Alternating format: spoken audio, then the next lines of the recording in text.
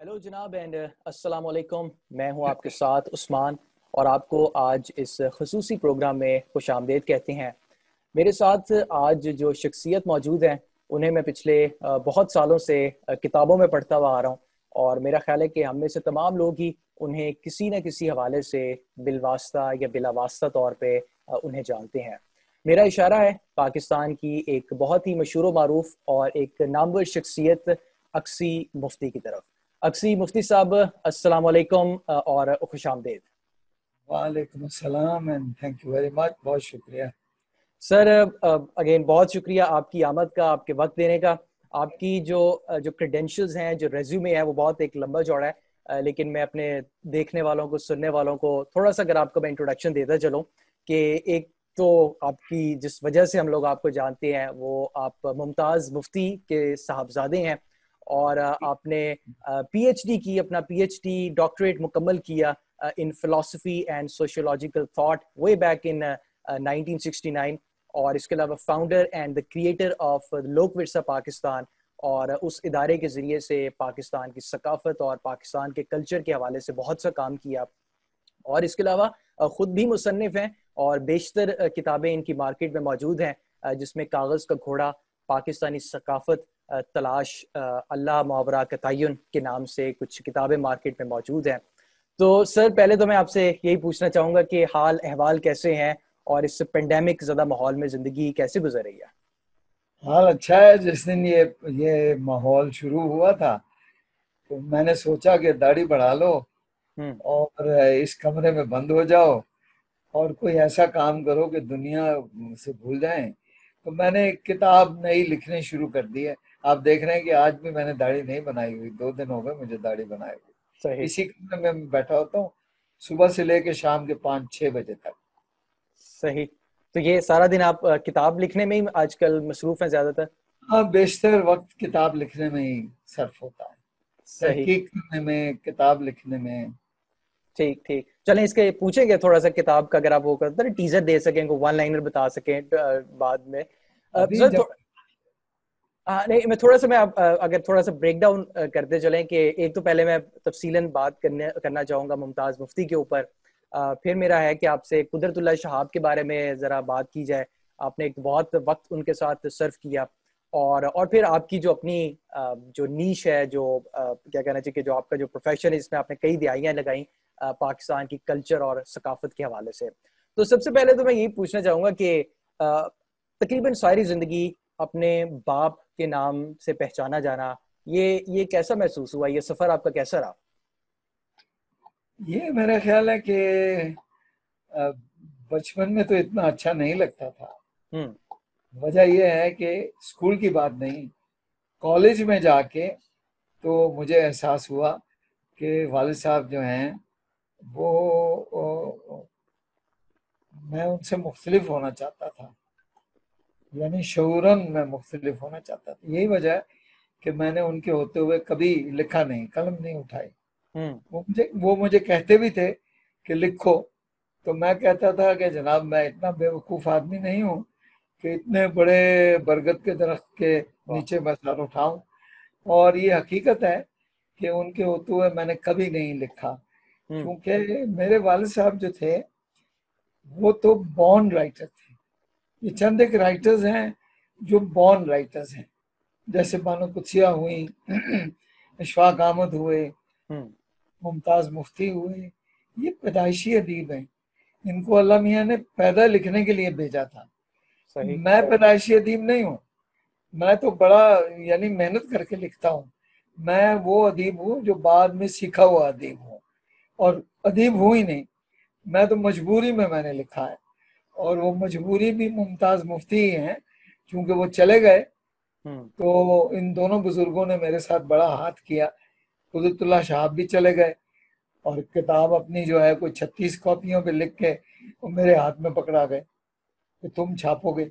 सही। वो मुझे ये इस काम में आना पड़ा। हालाँकि मैं उनसे कहता रहा कि नहीं ये आप इशफाक अहमद को दे दें वो मुझसे बहुत बेहतर इसे छापेंगे वो समझदार आदमी है। आपकी ज़िंदगी का काम है मैं इसको खराब ना कर दूँ। लेकिन उन्होंने कहा नहीं तुम ही छापोगे। हम्म। उसके बाद मुमताज़ मुफ्ती ने यही हाथ कर दिया मेरे साथ। सही। तो वो तलाश लिख के और चले गए। और उसके बाद आपको तो, पानी पड़ी। नहीं उन्होंने तो तरतीब भी नहीं बताई अच्छा, मुझे। सही। हाँ। फिर वो किसी रसाले में एक छापते थे सिलसिलावार। वहाँ से मैंने उठाई और जो मेरी समझ में आया उस तरतीब से मैंने छाप दी। जब मैंने वो पब्लिशर को दी हम्म। तो पब्लिशर ने कहा कि जनाब ये तो मैं नहीं छापूँगा। इसके लिए तो फॉरवर्ड आप लिखें। मैंने कहा मैं तो नहीं लिखने वाला मुझे तो लिखना ही नहीं आता। हम्म। उन्होंने कहा नहीं जी आप उनके उनके बेटे हैं और तो कोई नहीं लिख सकता। आप, आपको लिखना पड़ेगा। तो ज़िंदगी में पहली बार मैंने कलम उठाकर और उसका दिबाचा लिखा। दस पंद्रह बीस साल बीस समय का। कुछ मुझे एहसास हुआ कि यार शायद मेरी जीन्स में कुछ ऐसी बात है कि मैं लिख सकता हूँ हम्म। तो इस तरह से मैंने कोई सत्तर बरस की उम्र के बाद से लिखना शुरू किया वाह क्या और असूल असल बात यह है कि सत्तर बरस से पहले की जो ज़िंदगी थी वो भरपूर एक्शन की ज़िंदगी थी हम्म। वो गाँव गाँव जाना नगरी नगरी सफ़र करना फोकलोर इकट्ठी करना लोगों से बातें करनी दूर दराज के इलाकों में घूमना। बल्कि ये हुआ कि मैं जब रिटायर हुआ मैं बहुत पहले रिटायर हो गया था मैं 2002 में रिटायर हो गया था। हम्म। तो मैं बानो कुत्सिया के पास गया। तो मैंने बानो कुत्सिया से कहा कि बानो मैं रिटायरमेंट ले रहा हूँ। मैंने मैं बस अब मैंने बहुत काम कर लिया। अब मैं ये लोक विरसा छोड़ना चाह रहा हूँ। तो हम्म। बानो गुस्सिया ने मुझसे एक ऐसी बात कही जो जिनमें सोच में पड़ गया। बानो ने कहा देखो अक्सी ये जो किताब में हम लिखते हैं ना ये डेड लाइफ है। ये मरी हुई ज़िंदगी है। तुम में अभी हिम्मत है। तुम में अभी एनर्जी है। तुम जाओ तुम ज़िंदगी में कुछ कंट्रीब्यूट करो। वाह। ये बाद में कभी लिखते रहना हम्म। तो वो बानो कुसिया की बात ने मुझे इतना इंस्पायर किया कि मैं वापस आया। और मैंने आके दो म्यूज़ियम बनाए पाकिस्तान के लिए ये मैंने ये मैंने रिटायरमेंट के बाद बनाए एक हेरिटेज म्यूज़ियम और एक नेशनल। मोनूमेंट म्यूज़ियम तो फिर सत्तर वर्ष के बाद फिर जो बात मुमताज़ मुफ्ती के होते हुए मैं जिससे दौड़ना चाह रहा था हम्म। मैं अदीब नहीं बनना चाह रहा था हम्म। और नहीं लिखना चाह रहा था वो मेरा ख्याल खुद ही वो खुद वो खुद वो खुद खून में थी तो वो बाहर आ गई। सही सही। उसके बाद से मैंने कोई पाँच सात किताबें लिख दी। क्या बात दो अंग्रेज़ी दो अंग्रेज़ी में और चार पाँच उर्दू में। उर्दू में। और सर वो भी तो था ना कि मुमताज़ मुफ्ती ने वो एक क्या एक तहरीक थी एक कमेटी थी लिख यार के नाम से। तो आप बताते हैं कि सबको वो कहते थे कि लिखो कम अज कम लिखो बिल्कुल बिल्कुल बिल्कुल। मैं उस लिख यार का ड्राइवर था। अच्छा। मुख्य मैं लिखता तो नहीं था। हाँ। लेकिन वो लिख यार का गुजारा नहीं था मेरे बगैर। सही। उनकी उनकी मजबूरी थी कि वो मुझे शामिल कर लेते थे क्या बात वो चार पाँच लोग थे उसमें बेशतरी लोग लिखने वाले थे। नाम उनके अब माम लंबा हो जाएगा। हम्म। तो उनको लिख यार को लिख यार जो थे ना वो लिख यार के साथ साथ वो छठ यार भी थे। अच्छा। छठ पंजाबी वाला। छठ यार ये था कि जब वो आपस में बहस करते थे बड़ी लड़ाइयाँ हो जाती थी इंटेलेक्चुअल बहसें हो रही होती थी। तो आखिर में कोई एक जब वो तकरीबन लड़ाई के पास पहुँच जाते थे तो आखिर में एक बंदा कहता था एक उनमें से कहता छठ यार। इसका मतलब है कि छोड़ो कहीं चलते हैं। हाँ, हाँ मिट्टी पाओ मिट्टी पाओ। हाँ मिट्टी पाओ। जब वो छठियार के मंजिल आ जाती थी हम्म। तो उनको फिर ड्राइवर याद आ जाता क्या बात। और फिर आपका ज़िम्मेदारी होती थी ले जाना और उनको नहीं ड्राइवर नहीं जीप मेरे पास थी अच्छा। और गाँव गाँव जाना मेरा काम था और सारा पाकिस्तान घूमना मेरा वो मैं ही करता था। लिहाजा वो मेरे पास आ जाते थे कि यार छठ यार को और लिख यार को ले चलो कहीं। तो वो मुझे उस वक्त याद करते थे और मुझे कहते थे कि चलो चित्राल चलते हैं हमजा चलते हैं। तो इस तरह से मैं लिख यार से भी वाकिफ हूँ। लेकिन लिख यार जो थी ना वो तहरीक बिलखसूस मुमताज़ मुफ्ती की थी। सही। उनके पास जो भी आता था नजीबा आरिफ आ गई उनको वो कहेंगे देख बीबी तू लिखया कर। परवीन आतिफ आ गई जिन्होंने कभी नहीं लिखा था। उनको भी वो जबरन ये कहते थे कि देखो मेरे लिए पान तो लाना तुम और वो तुम गोभी गोश्त बड़ा अच्छा बनाती हो वो भी हाँ। मुझे खिलाना। पर लिखा करो। अच्छा। तुम्हें लिखना चाहिए। सही। तो, तो बहुत से लोग हैं जिनको मुमताज़ मुफ्ती ने लिखने पर डाला। और वो बाद में बड़े यानी काफ़ी नामवर लिखने वाले हो गए। उनमें नीलोफर भी हैं उनमें नीलोफर इकबाल हैं उनमें खासतौर पे अब्दाल बेला है तो बहुत से लोग जो हैं उनको मुमताज़ मुफ्ती ने कह के लिखवाया सही और और सर वो भी तो था ना कि वो अब मेरा ख्याल अलीपुर में बताते हैं या अलखनगरी में कि उनके जो वालिद थे आपके जो दादा थे तो वो तो बकायदा वो सब्जियों की भी लिख लेना और आज क्या खाया क्योंकि वो ये नस्ल दर नस्ल ये सिलसिला चलता हुआ आ रहा था तो खानदान में देखिए हम लोग हैं मुफ्ती हम्म।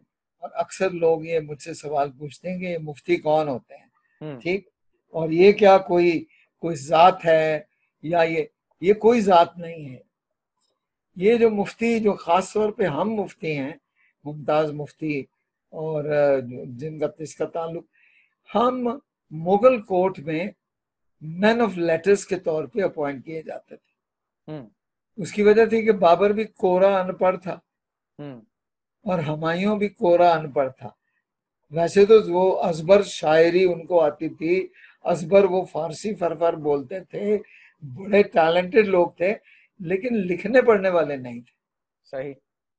तो उनको अपने दरबार में अपने साथ एक लिखने वाला मुफ्ती चाहिए होता था।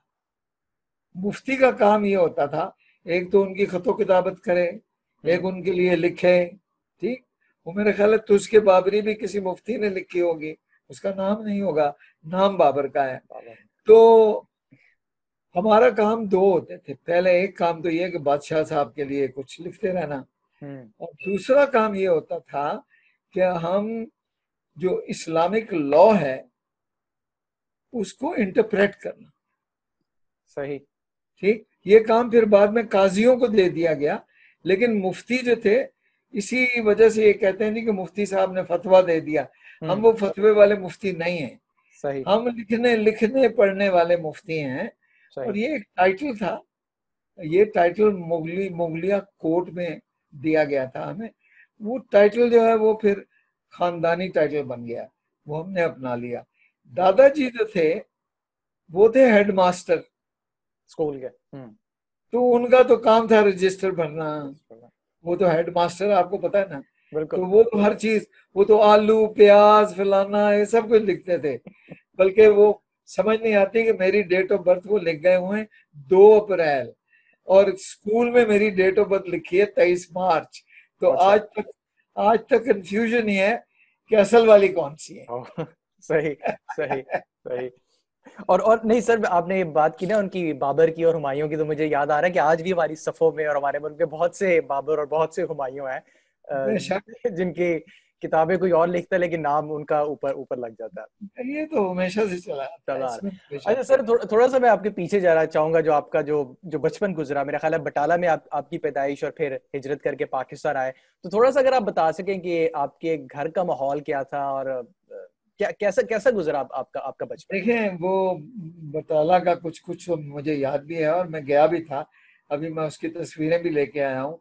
उन जगहों की भी तस्वीरें नहीं है जिनका ज़िक्र अलीपुर के एली में है जहाँ हम्म। दादा रहते थे जहाँ शहजाद रहती थी जहाँ खुद मुमताज़ मुफ्ती रहते थे।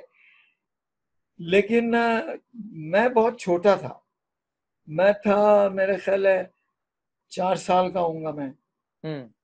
तो मैं तीन या चार साल का था तो मेरी वालदा जो शहजाद हम्म, वो चल बसी। सही। उसके बाद मैं दादी मुझे ले गई। मैं हम्म। दादी के साथ रहता था। और मुमताज़ मुफ्ती जो हैं वो अहमद बशीर को लेके जिसे उस वक्त हम मानी कहते थे हम्म। वो लेके बॉम्बे चले गए। सही। बॉम्बे में कोई हिंदू लड़की थी जो प्रोड्यूसर थी फ़िल्म प्रोड्यूसर। हम्म। वो एक फ़िल्म बनाना चाहती थी रजिया सुल्ताना पर। सही।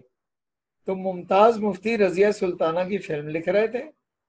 और अहमद बशीर जो है उनको भी बड़ा शौक था प्रोडक्शन वगैरह का तो ये दोनों बॉम्बे में थे और इनका इरादा बॉलीवुड में एक करियर का था फ़िल्म इंडस्ट्री का as a writer as a producer लेकिन फिर पार्टीशन हो गई हम्म। जब पार्टीशन हुई तो अचानक ये मालूम हुआ कि बटाला और गुरदासपुर जो आने थे पाकिस्तान के हिस्से में वो हिंदुस्तान को चले गए। तो ओवरनाइट ओवरनाइट एक एक इनके लिए हंगामा हो गया। सो so, इनको वापस आना पड़ा। ये वापस आए। इन्होंने किसी फौजी का एक ट्रक पता नहीं हायर किया क्या किया और ये हमें लेने आए बटाले में। तो बटाले में जो मुफ्तिया मोहल्ला था उसके बाहर एक तहसील थी और एक बड़ा दरवाज़ा था। और हम्म। दरवाजे के ऊपर मुझे याद है कि बलोच रेजिमेंट जो है वो पोजीशन थी। क्योंकि बलवे हो रहे थे और सिखों के जत्थे आते थे ड्रंक हाथों में तलवारें करपाने लिए हुए। तो हमला आवर थे। तो मकसद है कि कुछ कुछ मुझे याद है कि वो दिन ऐसे थे मैंने तो अपने वालिद को भी नहीं देखा था। हम्म। मैं तो दादी जान के साथ ही रहता था। फिर वहाँ से हम लाहौर चले आए। अब लाहौर जब आए तो बचपन में अब मेरी वालदा तो थी नहीं। मुमताज़ मुफ्ती को मुसीबत पड़ गई। एक छोटे से बच्चे को उनको उंगली लगा के इन्होंने रेडियो में नौकरी कर ली। तो ये मुझे भी साथ रेडियो स्टेशन ले जाते थे। तो मेरा बचपन जो है वो रेडियो के स्टूडियोज में ही गुजरा है। मैं कभी मौसीकी के स्टूडियो में बैठा रहता था कभी ड्रामे के स्टूडियो में जाके बैठ जाता था। हम्म। रोकता वोकता मुझे कोई नहीं था। सब जानते थे ये मुमताज़ मुफ्ती का बेटा है। बल्कि वो मरी भी ले गए मुझे। तो मरी उस वक्त जो आज़ाद कश्मीर रेडियो था हम्म। एक ट्रक में था। एक फौजी फौजी ट्रक में था। बिल्कुल। और रोज़ाना श्रीलंका जो श्रीनगर से जो प्रोग्राम होते थे उसका इन्हें जवाब देना होता था डेली बेसिस पे। एक हम्म। प्रोग्राम मसल ये था ढोल का पोल वो अशफाक भी लिखते थे वो मुमताज़ मुफ्ती भी लिखते थे। सही। तो उसमें एक मोहम्मद हुसैन साहब थे वो पंडित बनते थे। तो इनके पास कभी एक बच्चा जमूरे की भी ज़रूरत पड़ती थी तो ये फिर मुझे लगा देते थे। तो मैं बच्चा जमूरा बनता था उस प्रोग्राम में। तो मेरा बचपन जो है वो इसी तरह गुजरा है। लेकिन since I had lost my mother I was a very neglected child वाले साहब के पास टाइम नहीं होता था। वो लिखते थे रेडियो की नौकरी ऐसी थी सुबह गए रात को आए बारह बजे। हम्म। ड्रामा भी उनके पास था। तो मैं बचपन मेरा बड़ा निग्लेक्टेड था। फिर काफ़ी देर के बाद यानी जब मैं कॉलेज में आया तो फिर कुछ शोर पैदा हुआ कुछ जहानत जो है पता नहीं कहाँ से निकल आई थोड़ी बहुत। सही। फिर मैं कॉलेज में भी मशहूर हो गया उसके बाद से शोहरत मेरे साथ ही रही है। जो भी करता हूँ मैं ना भी चाहूँ ऐसे ही मेरा नाम शैतान की तरह क्या बात है। बहुत। और और सर आपकी आपकी उम्र कितनी थी जब आप हिजरत करके पाकिस्तान आए पाकिस्तान पहुँचे? मैं साढ़े चार चार बरस का था अच्छा सही फिर तो अभी नहीं सर। अच्छा और ये मैं मेरा ख्याल अगर आप मुझे दुरुस्त कीजिएगा लेकिन मैं सुनने वालों के लिए भी ज़रूर बताते चलो कि जो आपने पूरा ज़िक्र किया ना ये मुमताज़ मुफ्ती बॉम्बे चले गए फिर उन्होंने फ़िल्म बनाई फिर वहाँ से वो तो ये मेरा ख्याल है ये अलख नगरी के जो पहले चंद बाब हैं ये उसमें सारे ये ये कहानी है। ऐसी है होंगे। हाँ जी। एक बात मैं आपको बड़ी दिलचस्प बताऊँ कि मैंने मुमताज़ मुफ्ती को पढ़ा ही नहीं। अच्छा। अच्छा। मुझे, मुझे ज़रूरत ही नहीं पड़ी उनको पढ़ने की। वो तो मेरे वालिद थे हर वक्त मेरे साथ थे मेरे दोस्त थे। वाह। हाँ, और मैं तो उनको अंदर बाहर से समझता था। तो मैंने बड़ी मुश्किल से यकीन करें सिर्फ़ उनकी दो किताबें पढ़ी अच्छा। एक अलीपुर का एली जो इंतहाई बाकमाल किताब है। वो मैंने इसलिए पढ़ी कि वो मेरे नाम पे डेडिकेटेड है। तो मुझे लोगों ने बड़ी शर्म दिलाई कि देखो यार शर्म करो अक्सी मुफ्ती ये तो तुम्हारे नाम पे किताब है। सही। मैंने किताब पढ़ी और वो यकीनन बहुत अजीम किताब है और उसका बड़ा असर होता है नौजवानों पर। और मैं कई नौजवान ऐसे जानता हूँ जिनकी जिंदगियों ने मोड़ खा लिया वो किताब पढ़ने की वजह से। और दूसरी किताब मैंने तलाश पढ़ी मुझे मजबूरी में पढ़नी पड़ी क्योंकि वो छोड़ गए और मैंने छापनी थी और मैंने तबाचा लिखना था।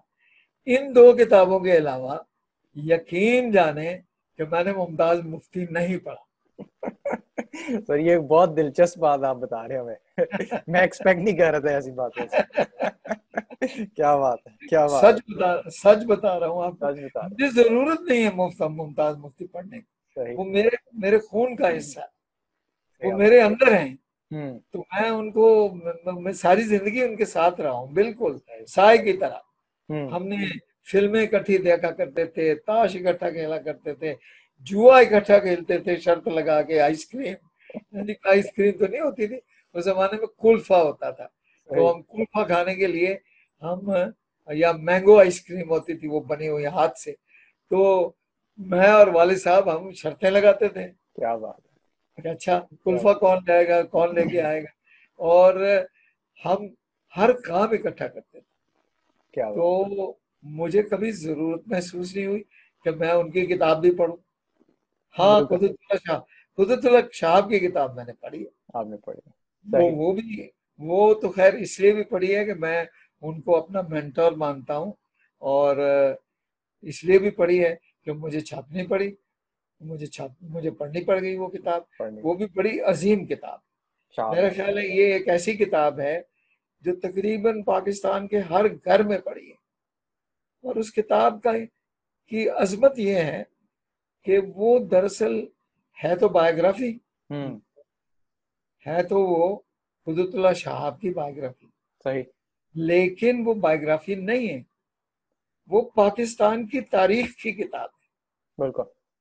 वो एक शख्स ने उस पूरे दौर को बयान किया है जो हमारा फॉर्मेटिव पीरियड था। कैसे ये मुल्क क्या क्या हालात?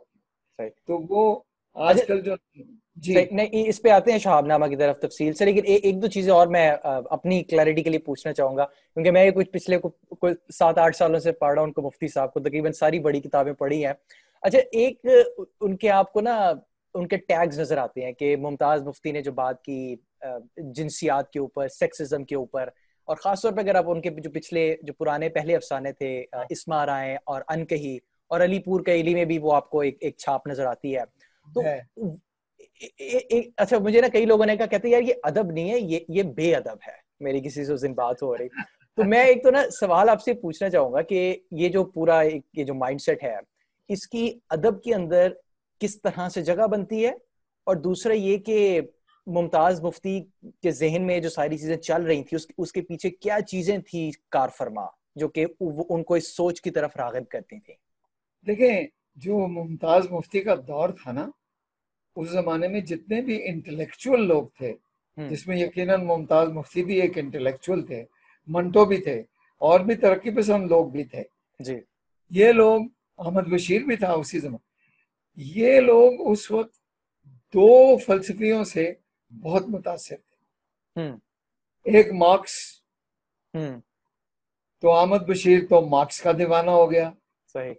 और वो सारी ज़िंदगी मार्क्स की तरफ़ जीनो भी मार्क्स का दीवाना हो गया। तो मुमताज़ मुफ्ती जो थे वो चूँकि नफ्सियात पढ़े थे उन्होंने नफ्सियात पढ़ते थे एम ए तक नफ्सियात उन्होंने पढ़ी।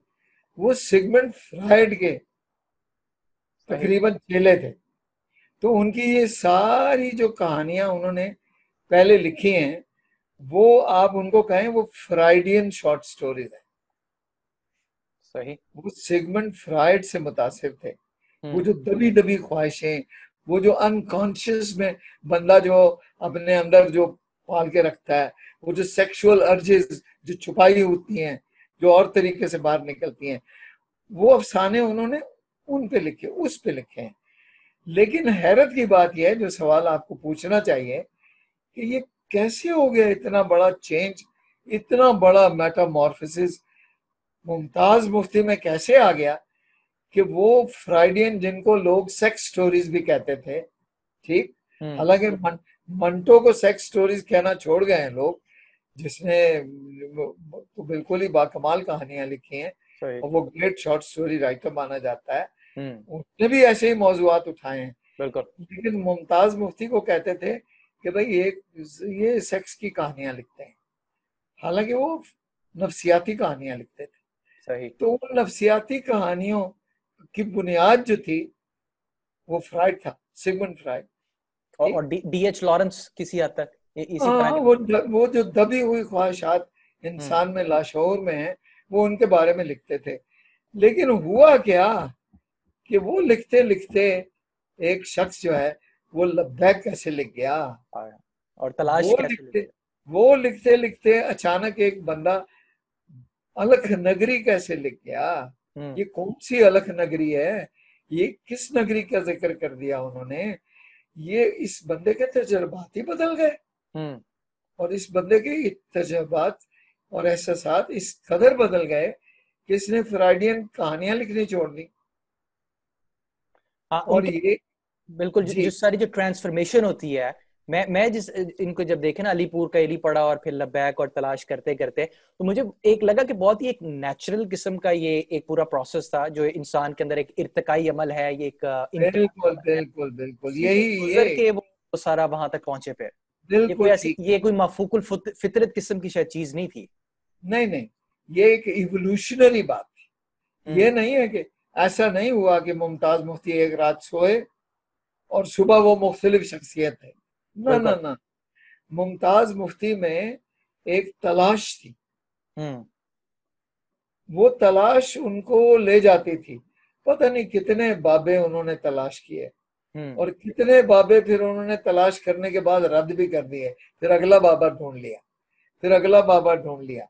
और बाबे ढूंढते ढूंढते कई मंजिलों से गुजरते गुजरते वो आखिर में कुदरतुल्ला शाह को अपना बाबा मान के और, और दुनिया से रुखसत हो गए।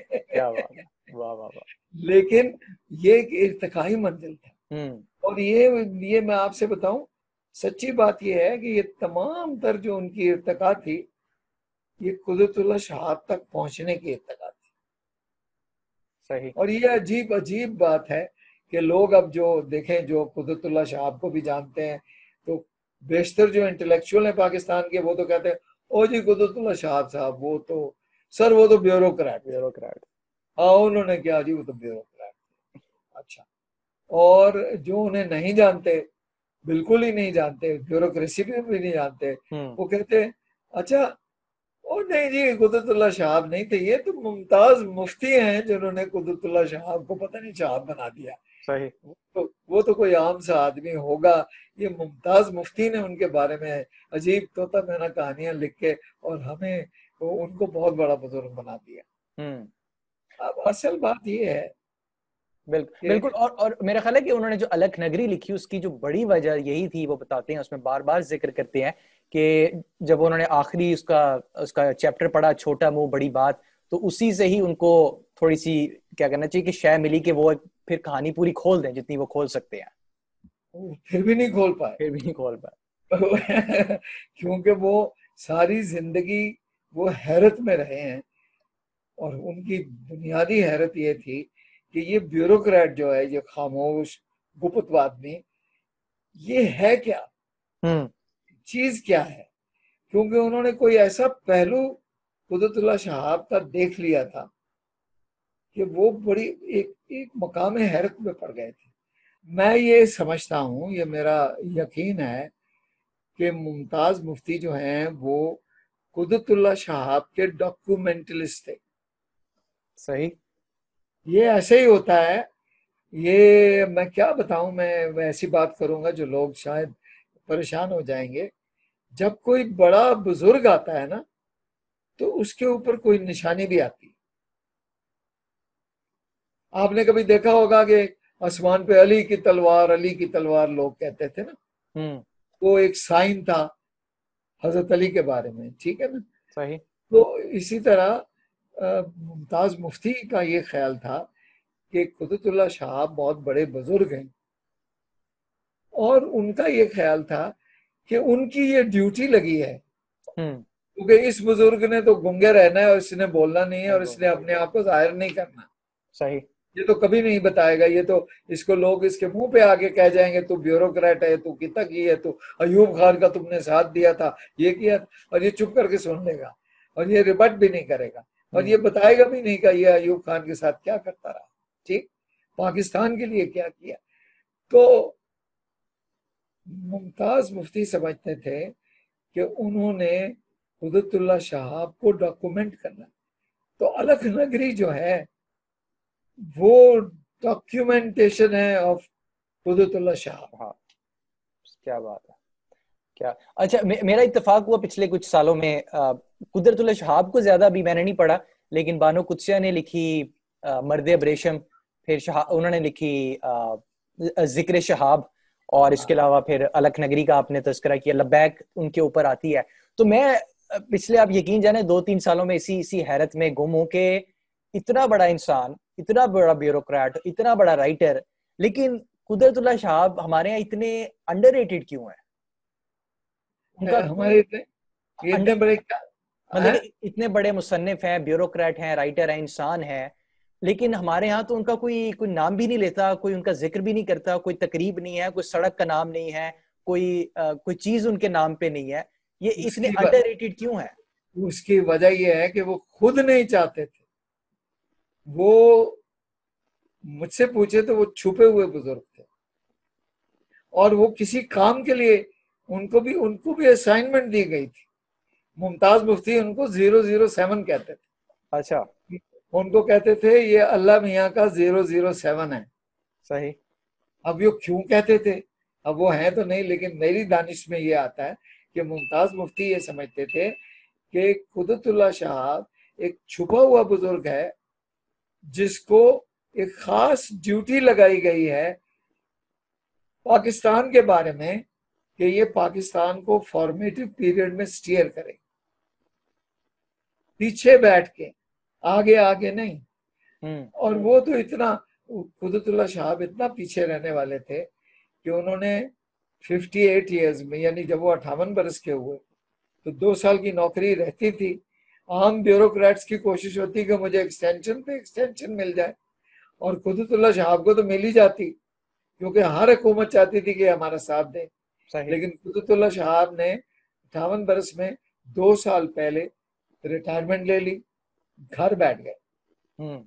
और मुझे ये कहा उन्होंने सूट पहनना छोड़ दिया टाई लगानी छोड़ दी। हम्म। वो बंदा जो थ्री पीस सूट पहनने वाला टाई लगाने वाला फॉरेन मकसद एम्बेसडोरियल असाइनमेंट पे जाने वाला पाकिस्तान की नुमाइंदगी करने वाला बड़ी बड़ी माओ को मिले चोन लाई को मिले सबसे पहले चीन से तल्लकात इन्होंने पैदा किए। वो शख्स जो है वो एक लुंगी आपने देखी कभी लुंगी? बिल्कुल बिल्कुल सर। वो मुझे कहते थे कि अक्सी तुम गुजरा वाले जाओगे? हम्म। मैं कहा जी कसूर या गुजरा वाले तो नहीं जाओगे? मैं कहा हाँ सर मैं तो जाते ही रहता मेरे लिए लुंगी ले आना। तो मैं उनके लिए कॉटन की लुंगी जो उसके ऊपर बनी होती थी खाड़ी के ऊपर बनी होती थी वो मैं उनके लिए लाता था। हम्म। फिर वो मुझे कहते थे मुझे इसकी कमीज सिलवा दो आम कुर्ता बिल्कुल आम कुर्ता गले वाला वो पहनते थे सादा सा पजामा पहनते थे एक घिसी हुई चपली थी उनके पास। कोई शख्स कह नहीं सकता था कि इतना बड़ा अफसर रहा है। और वो उनकी यहाँ घर में बैठे रहते थे कुरान पढ़ते रहते थे या मस्जिद तक जाते थे नमाज़ पढ़ने के लिए। बस ये उनकी ज़िंदगी थी बियॉन्ड फिफ्टी एट मुझे याद है कि जियाउल हक ने बड़ी कोशिश की हम्म। सर आप घर में बैठे हैं आप जाया कर रहे हैं अपने आप को आप एजुकेशन सेक्रेटरी आ जाए। ही रिफ्यूज ही रिफ्यूज और वो दिन है जिसमें उन्होंने बैठ के शहाबनामा लिखा। और लिख के छत्तीस किताबें हाथ में कंप्यूटर तो थे नहीं उन दिनों। हाथ से लिखते थे। हम्म। छत्तीस कापियाँ लिखकर और मुझे दे गए कि ये तुमने छापनी है। हाँ। मरने से सात दिन पहले। सही। और ये बड़ी अजीब बात है कि एक दिन मुझे फ़ोन आया और हम्म। मुझे कहा अक्सी तुम बड़े हुक्म नहीं लगाते थे। ना ना ना ना बड़े सॉफ्ट लिफ्ट थे कहते थे अक्सी अगर तुम फारिग हो अगर कोई तुम तक तुम तुम्हें कोई काम ना हो तकलीफ़ तो मेरे पास थोड़ी देर के लिए आओगे हमारे लिए वो हुक्म होता था। मैं चला गया तो उन्होंने वो छत्तीस किताबें मेरे सामने रखी seven days before is death उन्होंने कहा कागज़ पेंसिल पकड़ो मैंने कागज़ पेंसिल पकड़ा। उन्होंने कहा कि तरतीब लिखो। हम्म। उन्होंने छत्तीस कापियों की तरतीब मुझे लिखाई। कौन सा चैप्टर कहाँ लगेगा? वो बिल्कुल तरतीब में नहीं थी वो। सही। अगर वो वैसे ही मुझे दे जाते तो मुझे समझ नहीं आती कि मैंने करना क्या है इसका। सही। फिर उन्होंने मुझे कहा कि अच्छा इसका टाइटल क्या होना चाहिए? तो मैंने कहा सर ये शहाबनामा है तो इसका टाइटल तो कोई और बनता ही नहीं आप ही की तस्वीर है। उन्होंने कहा नहीं नहीं नहीं नहीं। नहीं मैंने कहा नहीं ये तो आप ये देखिए फिर शहाबनामा कैसे हुआ? हम्म। अगर आपकी तस्वीर नहीं होगी ऊपर तो शहाबनामा फिर उन्होंने कहा अच्छा फिर मेरी तस्वीर खींच खींच लो। फिर मैं एक फोटोग्राफर लेके गया मैंने उनकी तस्वीर खींची। तस्वीर के पीछे बहुत बड़ा साया आ गया एक। तो साय को देख के वो घबरा गए। उन्होंने कहा ये साया क्यों है? तो मैंने कहा जी ये तो देखे ना फिर वो तस्वीर में हाईलाइट थी। तो मैंने कहा सर जहाँ रोशनी होगी वहाँ साया तो होगा। क्या बात है। फिर एक दिन के बाद कहने लगे नहीं नहीं नहीं तुम ठीक कहते हो। ठीक है ये मोहम्मद इसके बाद सेवन डेज़ लेटर उनके भतीजे ने मुझे फ़ोन किया। बच्चा उनका साकिब बहुत छोटा था। उसे मुझे फ़ोन किया अक्सी भाई अपना ऑक्सीजन सिलेंडर लेके जल्दी आई और मैं ऑक्सीजन सिलेंडर ढूंढा तो उसमें तो ऑक्सीजन ही नहीं था। ऑक्सीजन भर के लाना तो दो दिन का काम था। मैं पहुँचा बगैर सिलेंडर के। And I found that he was paralysed and he was brought down the stairs on a chair and then we put him in my car and I drove him all the way तो मैं वो डिस्टू रस्ते में ही breathe this last और sir ये उस वक्त इस, इस्लामाबाद में ही थे वो? जी इस्लामाबाद में रहते थे एफिएट में रहते थे। सही ये फैसल मस्जिद के बिल्कुल करीब। सही। सर अच्छा ये एक दफ़ा बानो कुत्सिया ने अपने किसी इंटरव्यू में उनका उनका ज़िक्र किया शहाब साहब का। उन्होंने कहा कि उनकी ज़िंदगी जो थी वो एक एक तरह से रेल की पटरी की तरह थी जहाँ पे उनकी मादी ज़िंदगी भी उतनी मुकम्मल थी जितनी उनकी रूहानी ज़िंदगी। तो आप तो उनके मतलब के साथ रहे हैं तो आपने देखा कि यानी कि उन्होंने अपनी इन दोनों लाइव्स में किस तरह से उन्होंने बैलेंस किस तरह से तवाजुन बरकरार रखा हुआ था?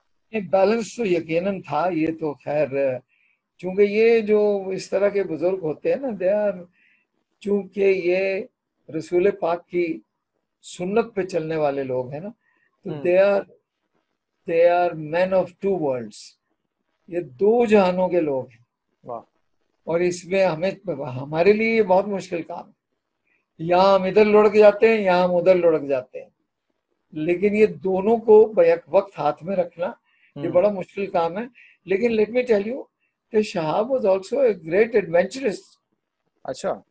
वो खुद कहते थे जब वो जवानी के आलम में थे तो वो खुद कहते थे कि अगर मैं ये ना होता जो मैं इस वक्त हूँ तो मैं डाकू होता। कहते थे मैं डाकू होता हम्म। और मुझे मैंने यानी मुझे ये पता है कि वो अपने नौजवानी में मरी की सड़क बहुत तंग होती थी तो वो जीप में 40 मिनट में जीप ड्राइव करके मरी पहुँच जाते तो he he was he was also a great adventurist सही ऐसी बात नहीं है हम्म। तो ये तो बाद में फिर आके वो बड़े धीमे हो गए। वो सारे ही हो जाते हैं। लेकिन उनकी भी एक इवोल्यूशनरी कहानी है। जो आप शाहबनामा पढ़े तो आपको पता चलेगा तो बड़े बड़े ज़बरदस्त एडवेंचरस थे। उन्होंने आईसीएस के दौर में गोरों के साथ उन्होंने नाखून नाखून चने चबाए गोरों को। बंगाल के अंदर बिल्कुल। हाँ जी हाँ। हम्म। अच्छा सर मुझे एक एक बात बड़ी आपकी हिट की जो उसमें उसमें ज़िक्र है अलख नगरी में। आपने वही नहीं पढ़ा होगा। लेकिन उसमें वहाँ पे आता है एक एक टर्म उन्होंने इस्तेमाल किया identification with Mohammad identification with the prophet तो गालबन शहाब साहब ने आपसे, आपको ये बात कही थी तो ये एक बड़ी अच्छी मतलब की बात है समझने वाली। तो इस तरह मैं चाहूँगा कि कोई कोई इस तरह की कोई कोई कोई और थोड़ा सा आपकी जो रिलेशनशिप था शहाब साहब के साथ, कोई ऐसा आपने कोई होता है ना, कोई माफूकुल फितरत किस्म की चीज़, कोई एक्सपीरियंस की हो उनके साथ? कोई ऐसी चीज़ आप बता सकें? देखें सिंपल सी बात है कोई माफूल फितर तो बात है ही नहीं। आइडेंटिफिकेशन जो है वो एक ह्यूमन फिनोमिनन है एक नफसियाती सच्चाई है। आपको पता है कि वो फ्रांसिस असिसी थे एक ठीक? वो क्राइस्ट हम्म। के साथ अपने आप को बड़ा एसोसिएट करते थे। He was a great lover of Christ तो उनको बंद कर दिया गया था सेलर में। तो उनका बाद में ऊपर देखा कि उनके यहाँ पर हथेलियों में और पैरों में हम्म। छेद हो गए थे और उनमें से खून रिश्ता था। Because of his identification with the Christ तो देखें अब बुद्धिज्म में तो बुद्धा हुड एक मंजिल है। हम्म।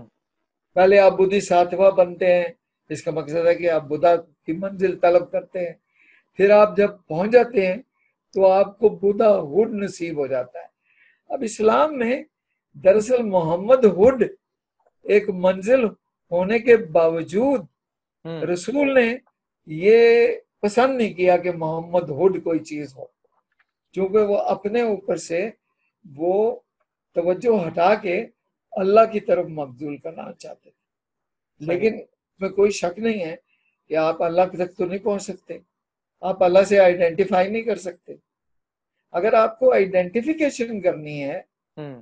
फिर आप सिर्फ़ रसूल पाक ही से कर सकते हैं because he was human being like us बिल्कुल।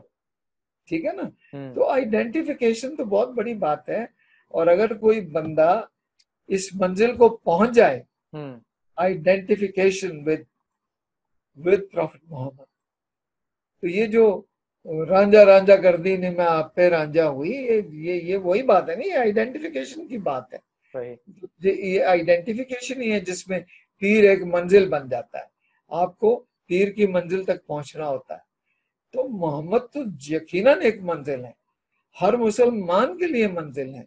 हम्म। वो तो ये वो कहा गया है कि इनको आप एम्यूलेट करें इनके इनकी इनकी आप बेशक नकल ही करें लेकिन करें। हम्म। इनकी पैरवी करें जैसा वो करते थे वो करें वो बात दूसरी है कि हम जहानत से नहीं समझे कि वो नकाल हमने कैसा नकाल बनना है अगर वो अगर ऊँट पे चढ़ते थे तो मेरे लिए ये तो ज़रूरी नहीं होना चाहिए कि मैं आज भी ऊँट पे बैठूं अगर वो यहाँ करपान या तरपार लगाते थे तो मेरे लिए तो ये ज़रूरी नहीं कि मैं भी यहाँ तलवार लगाऊँ तो एक्सटर्नल्स की हम्म। उनकी अगर वो एक तोप पहनते लंबा हम्म।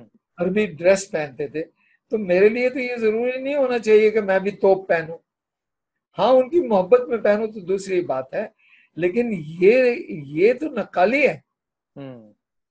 क्या असल बात तो उनके किरदार तक पहुँचना है। बिल्कुल बिल्कुल। और और वो किसी ने हुस्न किरदार को पहचान। क्या बात बिल्कुल। और वो किसी ने कहा ना कि कि दाढ़ी इश्क की इब्तदा नहीं है इश्क की इंतहा है। तो जब हाँ, आप उसमें उसमें जब डूब जाते हैं फिर आप कहते हैं कि आप अपने महबूब जैसे नज़र आए। हाँ, बिल्कुल हो सकती है। हम्म। और कुतुल्ला शाहब ने भी आखिर दौर में सारी ज़िंदगी दाढ़ी नहीं रखी। लेकिन आखिर दौर में उन्होंने दाढ़ी कर उन्होंने दाढ़ी रख ली। सही। तो ये मैं मानता हूँ इसकी इंतहा है। क्या बात है। अच्छा सर थोड़ा सा वापस आऊँगा उस पर शहाबनामा के ऊपर।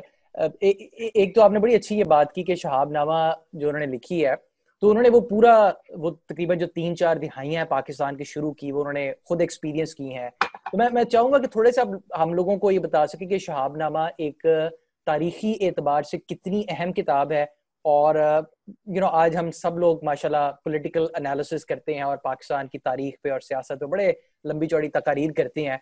तो तो शहाबनामा पढ़नी, उसको समझना इंटरनलाइज करना कितना ज़रूरी है आज हम हम जैसे लोगों के लिए? देखिए मैं समझता हूँ कि शहाब नामा वो किताब है। इसलिए नहीं कि मेरी शहाब से कोई जाती उनसीयत है। इन ऑल फेयरनेस शहाबनामा वो किताब है जो हमारे दरसो तदरीस हमारे कॉलेज यूनिवर्सिटियों में पढ़ाई जानी चाहिए। जो नया है ना जो जो नया ख्याल है तारीख के बारे में हम्म। वो ये है कि तारीख की जो किताबें वो सब गलत हैं। क्योंकि वो किसी बादशाह ने लिखाई हैं या वो किसी सियासी पार्टी ने लिखाई हैं हम्म। या वो किसी नज़रिए की पैदावार है कोई कम्युनिज्म ने पैदा की है कोई कैपिटलिज्म ने पैदा की तो वो सस्पेक्ट है सही वो तारीख जो बादशाहों ने लिखी जो पॉलिटिकली मोटिवेटेड है वो सस्पेक्ट है तो हम्म। लिहाजा इस वक्त ये समझा जाता है कि तमाम पॉलिटिकली मोटिवेटेड तारीख जो है वो गलत है। या बादशाहों ने लिखाई है या किसी किसी सम एक्स टू ग्राइंड तारीख सच्ची वो है जो किसी एक अदीब ने उस जमाने को एक्सपीरियंस करके उस जमाने से गुजर कर जो उसने हालात लिखे हैं हम्म। तारीख है। तो इस लिहाज से शहाबनामा पाकिस्तान की तारीख है क्योंकि शहाबनामा आईसीएस के दौर से उन्होंने प्री इंडिया कायदे आज़म पहले से उन्होंने शुरू की दास्तान हम्म। और आखिर तक बल्कि आखिर में आके पाकिस्तान के लिए प्रिडिक्शन भी कर गए फ्यूचर प्रिडिक्शन भी दे गए उस वक्त हम्म। तो शहाब नामा तो तारीख की किताब है सही। और ये ये बड़ी अनमोल किताब है तो हर तालब इल्म को पढ़नी चाहिए। क्योंकि उसको पढ़ने के बाद पता चलता है कि हमारी असल कहानी क्या है। ये ये क्या था कैसे पाकिस्तान बना हम्म। इसकी क्या अहमियत है? तो इसलिए ये बहुत अहम किताब है।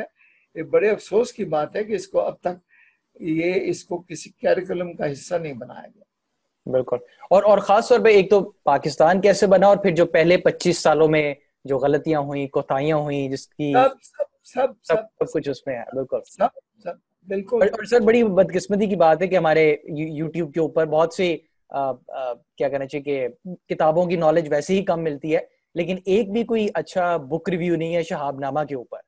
यानी कि किसी ने उस पर बात तक नहीं अभी अभी उस पर वो तो छोड़ ही दें आप।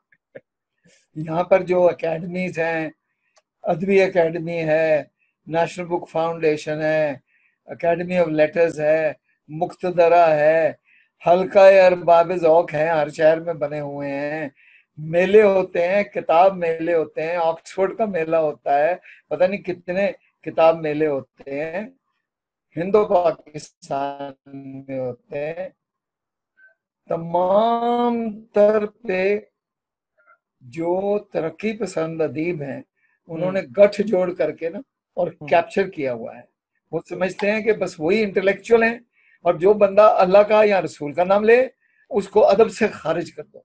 तो ट्रकों के ऊपर बसों के ऊपर तस्वीरें लगाई जाती हैं उन अदीबों की जो मर चुके हैं और जिनकी कोई खास कंट्रीब्यूशन नहीं है और जिनकी किताब बिकती भी नहीं है बाज़ार में। Shahab Nama is one of the best selling books even now बिल्कुल बिल्कुल। लेकिन उनका बुगज ये है कि यार ये वो आपको कहेंगे ये क्या ये बिमला की कहानी है? तो तब मैंने कहानियाँ लिख दी हैं शाहब साहब ने। ये हमें बेवकूफ़ बना गए हैं। ये तो वो ये ये अल्लाह का नाम लेते हैं। ये रसूल की बात करते हैं। आखिर में आयतें लिख के चले गए तो ये तो ये नहीं नहीं अदब से खारिज का अदब से खारिज नहीं ये बड़े अफसोस की बात है सही बात भाई जो जो शख्स अल्लाह का नाम ले वो अदब से खारिज है। आपको पता है कि इस वक्त मुमताज़ मुफ्ती की तलाश जो है बेस्ट सेलिंग बुक है। मुमताज़ मुफ्ती की जो लब्बैक है वो पाकिस्तान की बेस्ट सेलिंग बुक है। लेकिन किसी अदबी सर, सरकारी अदबी इदारे में इन किताबों का ज़िक्र तक नहीं होता। हम्म। तो ये एक बड़ा स्प्लिट है कि कुछ सरकारी किस्म का अदब है और कुछ आप बाज़ार में जाएँ आप बाज़ार में जाएँ मेरा पब्लिशर है उसे मैं बड़े बड़े नाम लेके कहता हूँ मैं यार ये छापो। तो वो कहता है सर खरीदेगा कौन?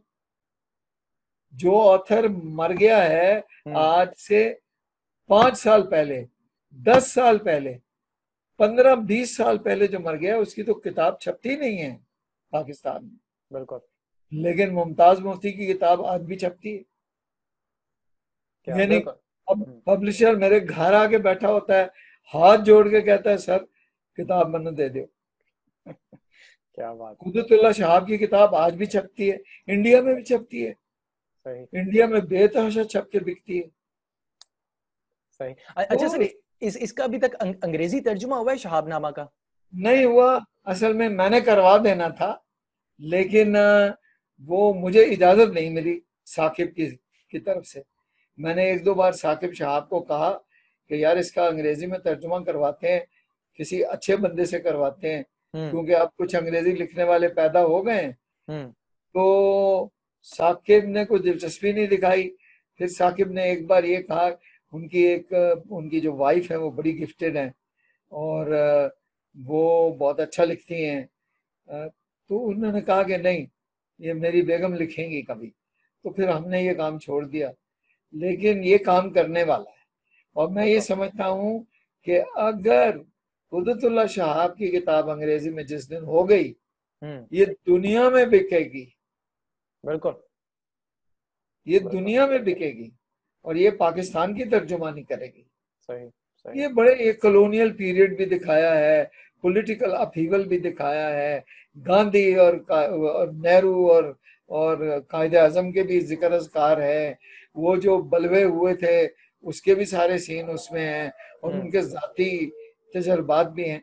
ये तो बड़ी बाकमाल किताब है। बिल्कुल बिल्कुल।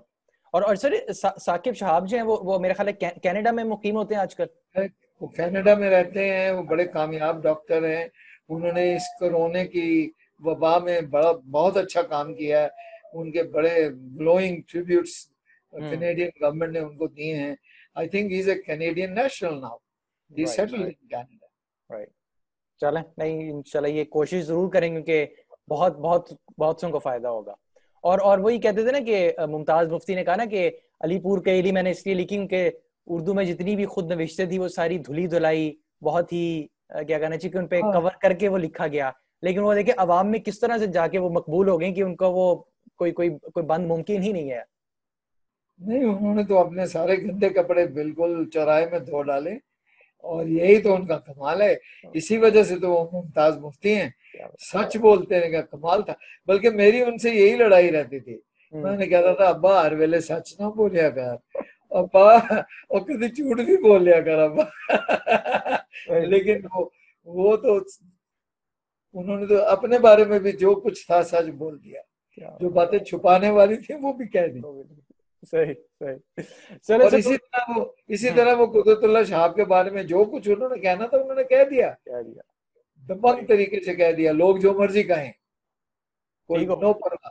सही है सही है। अच्छा सर थोड़ा सा आगे बढ़ते हैं।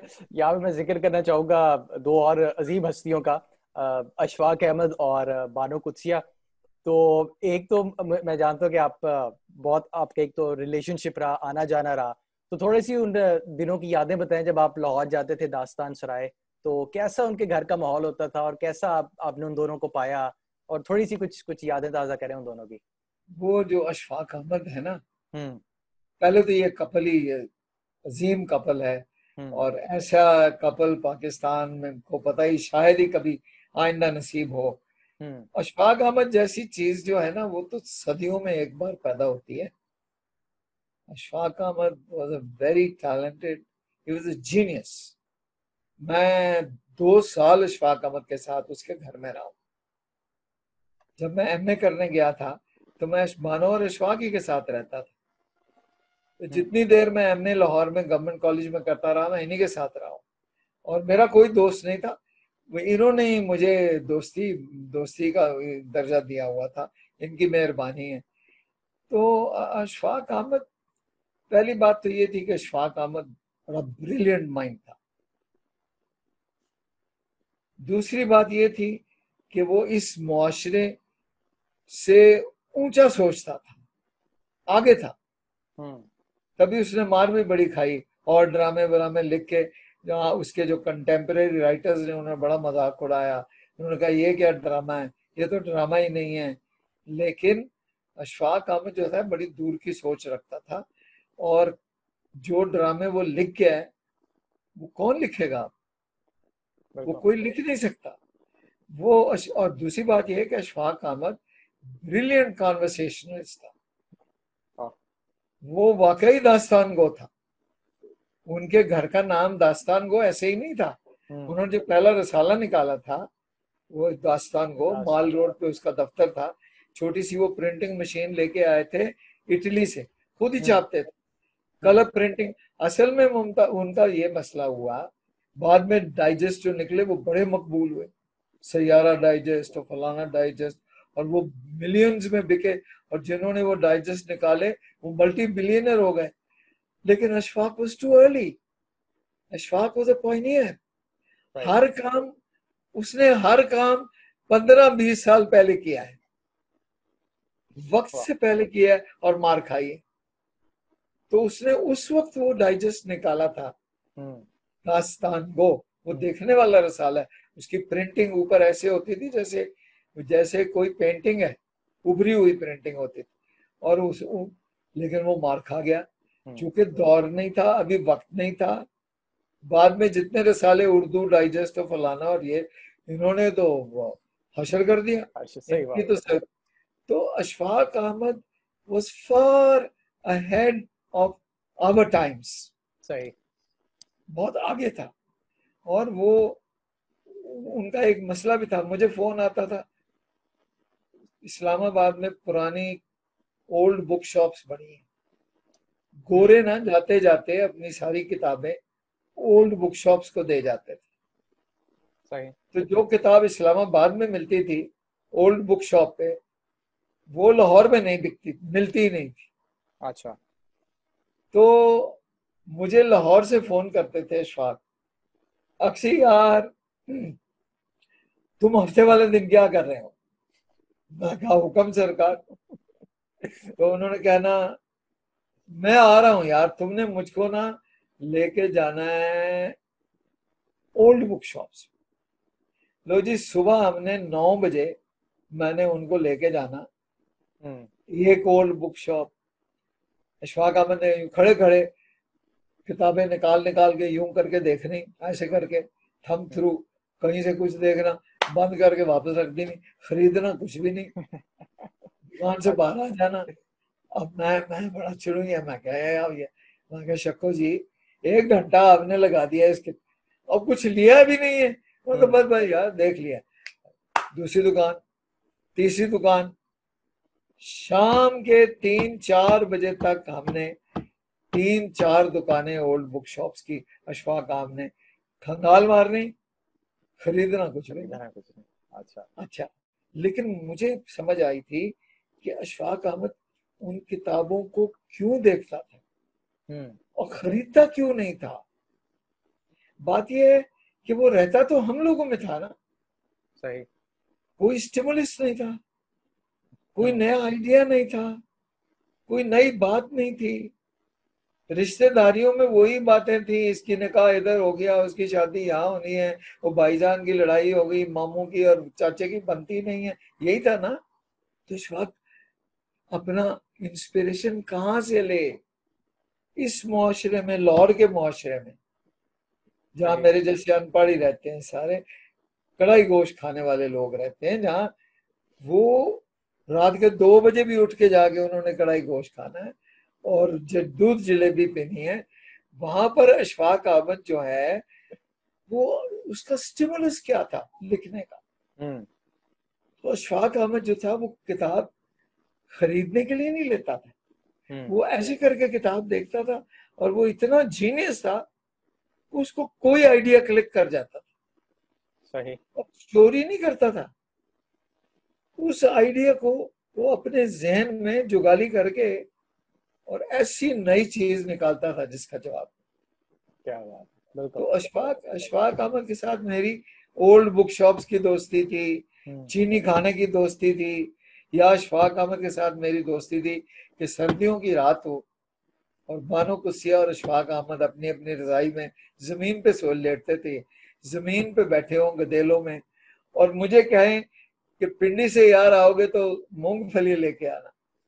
नहीं यार अक्सी वो वाली लाना जो भुजी हुई अच्छी हो। हाँ। तो मैंने ढेर मूंगफलियाँ लेके जानी भुजी हुई। तो अशफाक अहमद जो थे उनके पास जो शख्स भी बैठ जाता था हम्म। आप भी बैठ जाते हैं ना? तो आप सांप की तरह ना ऐसे लगता है जैसे कोई बीन बजा रहा है और आप सांप की तरह मैब होके उनको रात के दो बजे तक सुनते रहते जो बाद में जाविया प्रोग्राम उन्होंने किया हम्म। वो तो कुछ भी नहीं है उस उन उन उन महफिलों के सामने अच्छा। जो अशफाक ने हमारे साथ जवानी में की सही तो अशफाक तो बड़ा बाकमाल आदमी था और बानो भी बहुत खूब थी बानो भी बॉन्ड राइटर थी लेकिन उनमें मसला ये था कि वो हर ड्रामे में हर किताब में हर राइटिंग में वो फलसफा बयान करना शुरू कर देते सही। वो फलसफा उनके अंदर से निकलता था। हम्म। अब जैसे उनकी जो सबसे मशहूर किताब है राजा के। जी हाँ वो फलसफा है। बिल्कुल। वो फलसफा है। हाँ. तो Bano Qudsia was a philosophic writer Ashfaq was not Ashfaq was a वो तो बिल्कुल पार्टी दरवाजे के लिए भी लिख लिख सकता था। सही सही। अशफाक ने तो जो प्रोग्राम किया है अशफाक अहमद ने जिसके लिए जिसमें हिंदुस्तान बड़ा नाला था पाकिस्तान से लाहौर स्टेशन से लॉन्गेस्ट रनिंग प्रोग्राम तल, तलकीन शाह की बात कह रहे हैं तलकीन शाह। बिल्कुल। और वो तलकीन शाह तलकीन शाह जो था आज सुने वो पाकिस्तान के लिए जंग है। वो लड़ाई थी। सही। वो ही स्टूड फॉर पाकिस्तान तो अशफाक अशफाक तो फिर ऐसा बंदा तो कभी सदियों में पैदा होता है। अब पता नहीं कब पैदा होगा दूसरा अशफाक अहमद हमें इंतज़ार करना पड़ेगा। क्या बात। तो चला गया। बिल्कुल बिल्कुल। सर ये ये आपने इन दोनों का ज़िक्र किया अशफाक अहमद और बानो कुदसिया तो इनका भी मुझे वही लगता है जो हम पहले बात कर रहे थे ना इरतकाई अमल की और एवोल्यूशन की। क्योंकि अगर आप बानो कुदसिया के अगर आप शुरू के नॉवेल्स और उनके खासतौर पर ड्रामे अगर आप देखें और फिर बाद के ड्रामे देखें तो वो उनसे लोग यही शिकायत करते थे बाप बहुत संजीदा हो गई है फलसफा ज़्यादा हो गया है रूहानियत का उनसर आ गया है तो वो, वो ये बिल्कुल ठीक कह रहे हैं इर्तका का अमल तो सब में था हम्म। और उन मैं तो पहले से कह रहा हूँ कि बानो कुत्सिया बाद में बहुत फिलोसॉफिक हो गई थी हम्म। बल्कि मैंने उनसे एक आखिरी जो ड्रामा लिखवाया, जो मैंने फिर टीवी पे किया ही नहीं, वो मुझसे नाराज़ भी हो गई। वो तो इतना बड़ा फलसफा था कि मैंने कहा कि ये टीवी के लोग जो हजम ही नहीं कर सकेंगे। तो मैंने फिर वो टेलीविज़न पे प्रोड्यूस ही नहीं किया। वरना उनके कई ड्रामे मैं प्रोड्यूस करता रहा हूँ। अच्छा सही सही। ठीक ठीक ठीक। अच्छा सर, यहाँ पे हमने बड़ी बात की, कुछ अजीम लोगों की बातें की। तो अगर मैं आपसे ये पूछूँ कोई कोई दो तीन ऐसी खसूसियात कोई कैरेक्टरिस्टिक्स जो कि आपको अक्रॉस द बोर्ड तमाम बड़े लोगों में नज़र आई वो वो वो क्या हो सकती है? ठीक है मैंने तो कोई तमाम बड़े लोग देखे नहीं है। मेरे लिए तो बड़े लोग यही थे इब्ने इंशा था मुमताज़ मुफ्ती था। मुमताज़ मुफ्ती को तो उनकी ज़िंदगी में बड़ा लोग समझता ही नहीं था। वो तो उनके जाने के बाद पता चला कि ये तो बहुत बड़े लोग थे। उसके बाद अशफाक आमद था। बानो कुछिया थी ठीक और बहुत से लोग हैं जिनको मैंने बड़े करीब से देखा जमीलुद्दीन आली को देखा कुदरतुल्ला शहाब था हाँ, अगर मुझसे वासिफ अली वासिफ कभी आपके मेरे ख्याल कोई वासिफ अली वासिफ देखें कुछ लोग ऐसे हैं हम्म। जिनको जो अशफाक अहमद की वजह से मुमताज़ मुफ्ती कुदरतुल्ला शाह मैं भी हम्म। सिर्फ़ अशफाक की वजह से उधर जाते थे अशफाक का मसला क्या था? अशफाक जाया करते थे एक नूर बाबा के पास। हम्म।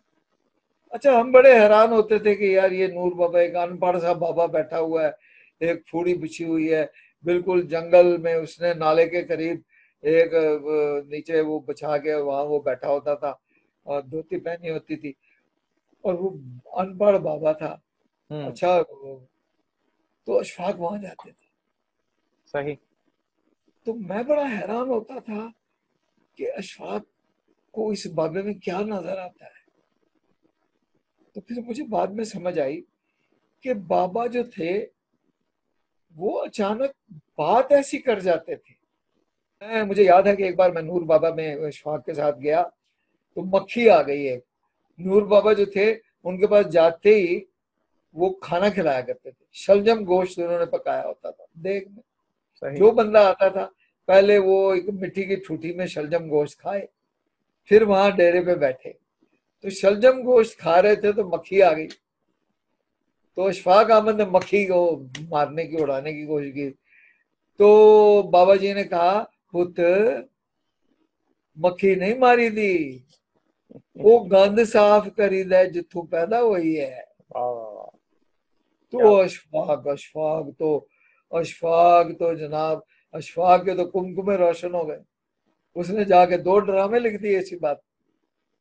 क्या बात तो ये जो अशफाक एक अशफाक की सेइंग है ना आसानियाँ पैदा करो। हम्म। ये अशफाक की नहीं है। सही। ये नूर बाबा की सेइंग है। अशफाक ने नूर बाबा के मुँह से ये सुना था।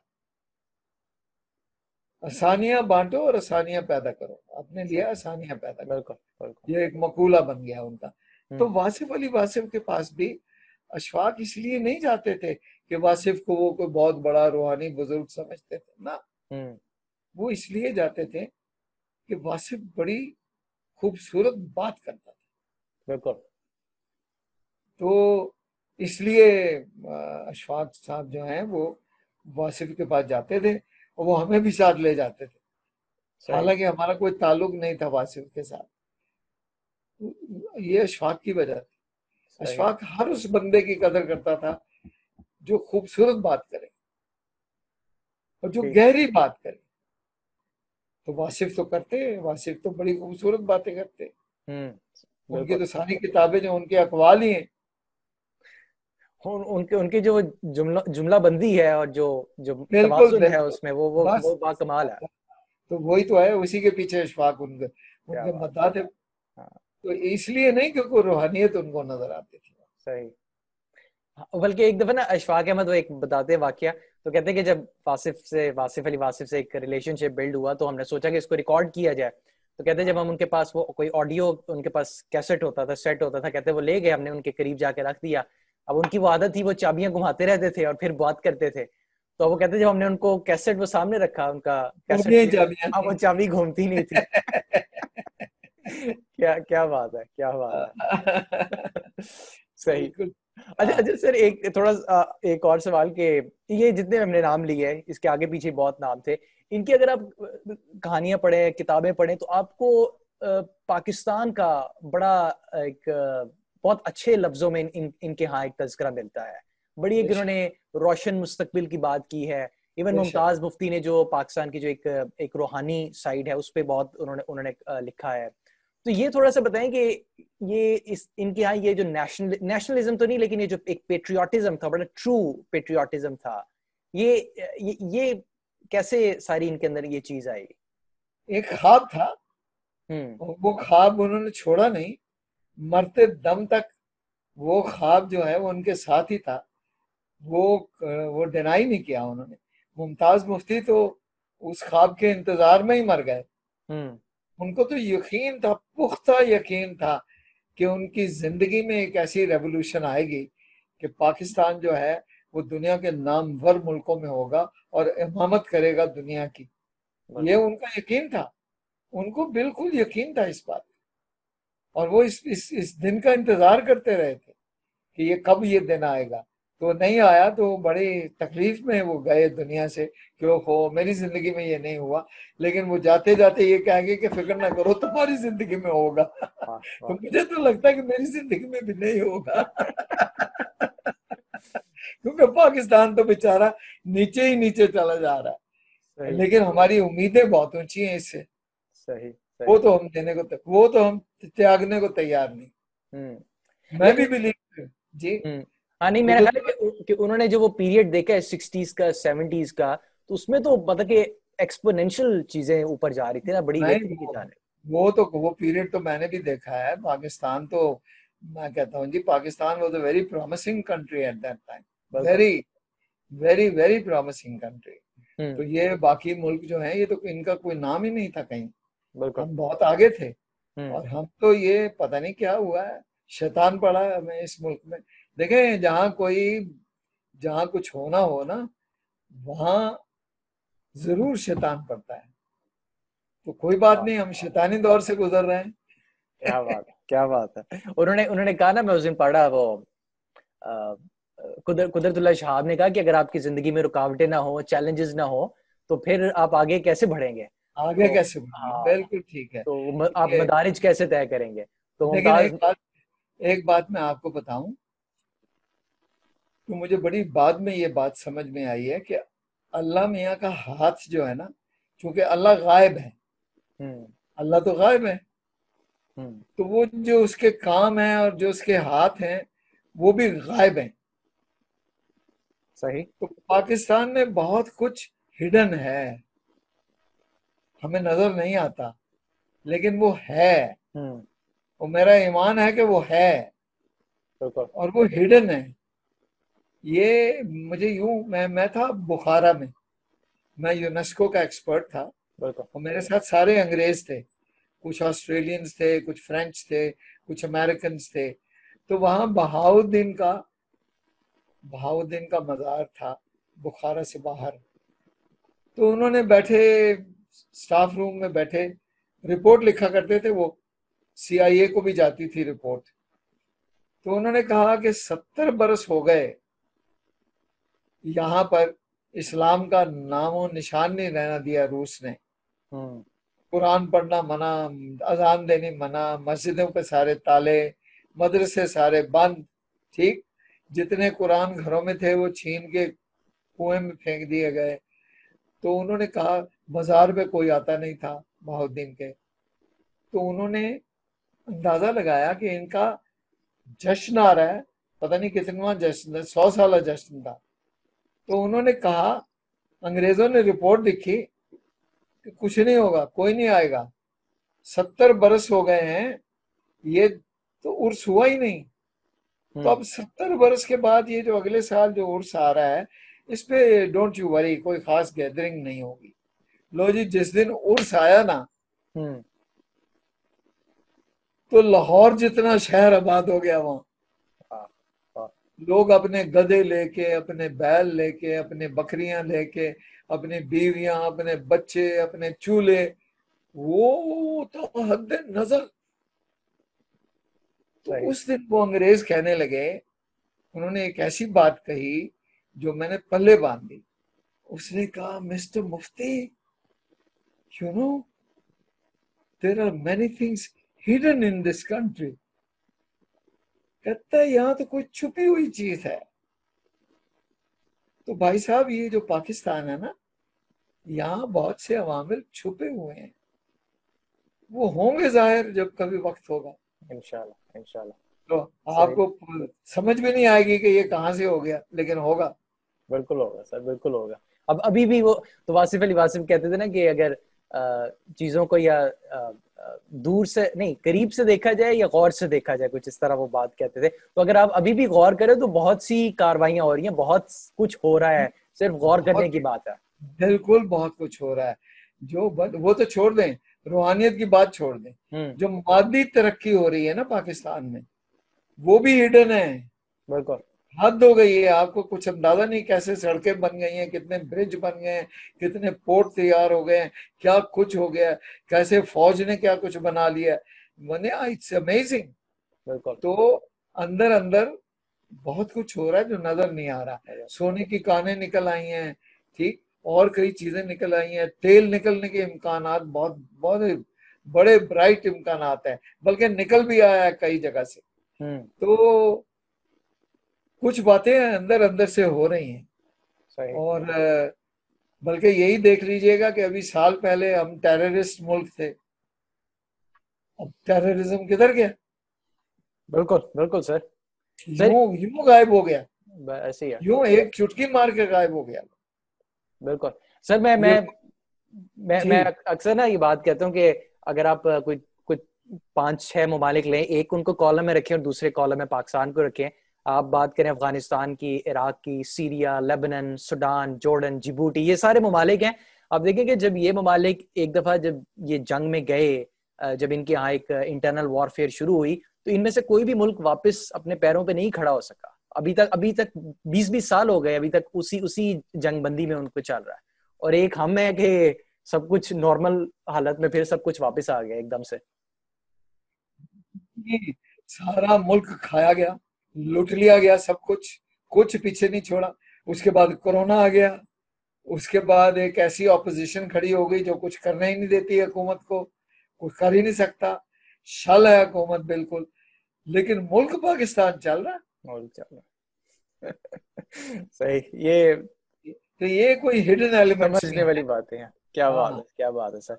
सर इस इसी से बात से लीड लेते हुए मैं आगे जाऊँगा जो आपने कहा ना कि हिडन जो जेम्स हैं उसको आपने बड़ी लोगों के सामने लाने की कोशिश की, चाहे वो लोक विरसा के ज़रिए थी या पाकिस्तान की सकाफत के बारे में आपने लिखा भी, बोला भी प्रोग्राम्स भी किए तो जरा उस साइड को मैं एक्सप्लोर करना चाहूँगा जो आपकी जो आपकी पहचान है, जो अक्सी मुफ्ती के नाम से माशाल्लाह जानी जाती है। तो सर, पहले तो मुझे आप ये बताएँ कि पाकिस्तान का कल्चर असल में है क्या? ये तो ये तो बहुत बड़ा सवाल है इस पे तो मैंने पूरी किताब लिखी है। आपको आपको वो पढ़नी पड़ेगी। हम्म। लेकिन कल्चर क्या होता है? कल्चर लोगों के रहन सहन का तरीका होता है। कल्चर हम्म। तो जमहूरियत जैसी चीज़ है। चूँकि ये अवाम की है ये is for the people by the people and to the culture तो वो है जो लोगों का रहन सहन है।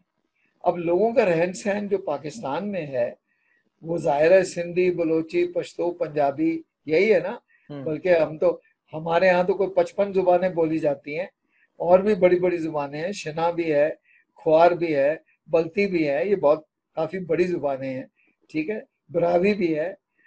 तो हमारा मसला ये रहा है कि हम इस डाइवर्सिटी से डरते रहे हैं। हालाँकि डरने की ज़रूरत नहीं थी ये तो हमारा सबसे बड़ा एसेट है। सही। उसकी वजह ये एसेट क्यों है? ये एसेट इसलिए है कि इससे खौफ खाने की ज़रूरत नहीं है। हमारे यहाँ जो इस्लाम आया वो हम्म। मोहम्मद बिन कासिम नहीं लेके आए। मोहम्मद बिन कासिम तो अपनी तजारती कश्तियों की हिफाजत करने के लिए आए थे इस्लाम फैलाने के लिए नहीं आए थे। और जो बाबर और जो बादशाह भी आए और जितने बड़े बड़े मुसलमान बादशाह आए हम्म। उनमें से कोई भी इस्लाम फैलाने के लिए नहीं आया। इस्लाम फैलाने के लिए आए सूफिया कराम जो रसूल पाक के साथ जिनका लिंक था ठीक? और वो पता नहीं कहाँ कहाँ से उठ के आए। कोई हरात से आया कोई समरकंद से आया कोई बुखारा से आया कोई सीरिया से आया कोई इराक से ये पाकिस्तानी नहीं थे। हम्म। ये बाहर से आए। और ये बाहर से आके इन्होंने वो काम नहीं किया जो अंग्रेज़ों ने हमारे साथ किया। अंग्रेज़ों ने तो ये किया कि वो आ गए तो उन्होंने कहा है तुम खाला आदमी तुम अभी हमारी ज़ुबान बोलेगा। तुम सूट पहनेगा टाई पहनेगा टाई लगाएगा अंग्रेज़ी बोलेगा नहीं तो तुम हमारी क्लब में नहीं आ सकता। तुम छुरी कांटे के साथ खाएगा। इन्होंने ये नहीं किया। ये आके चुपके से ये अवाम के अंदर बिल्कुल अवाम के अंदर जाके झुग्गी बना के बैठ के बैठ गए। उनकी ज़ुबान सीखी। हम्म।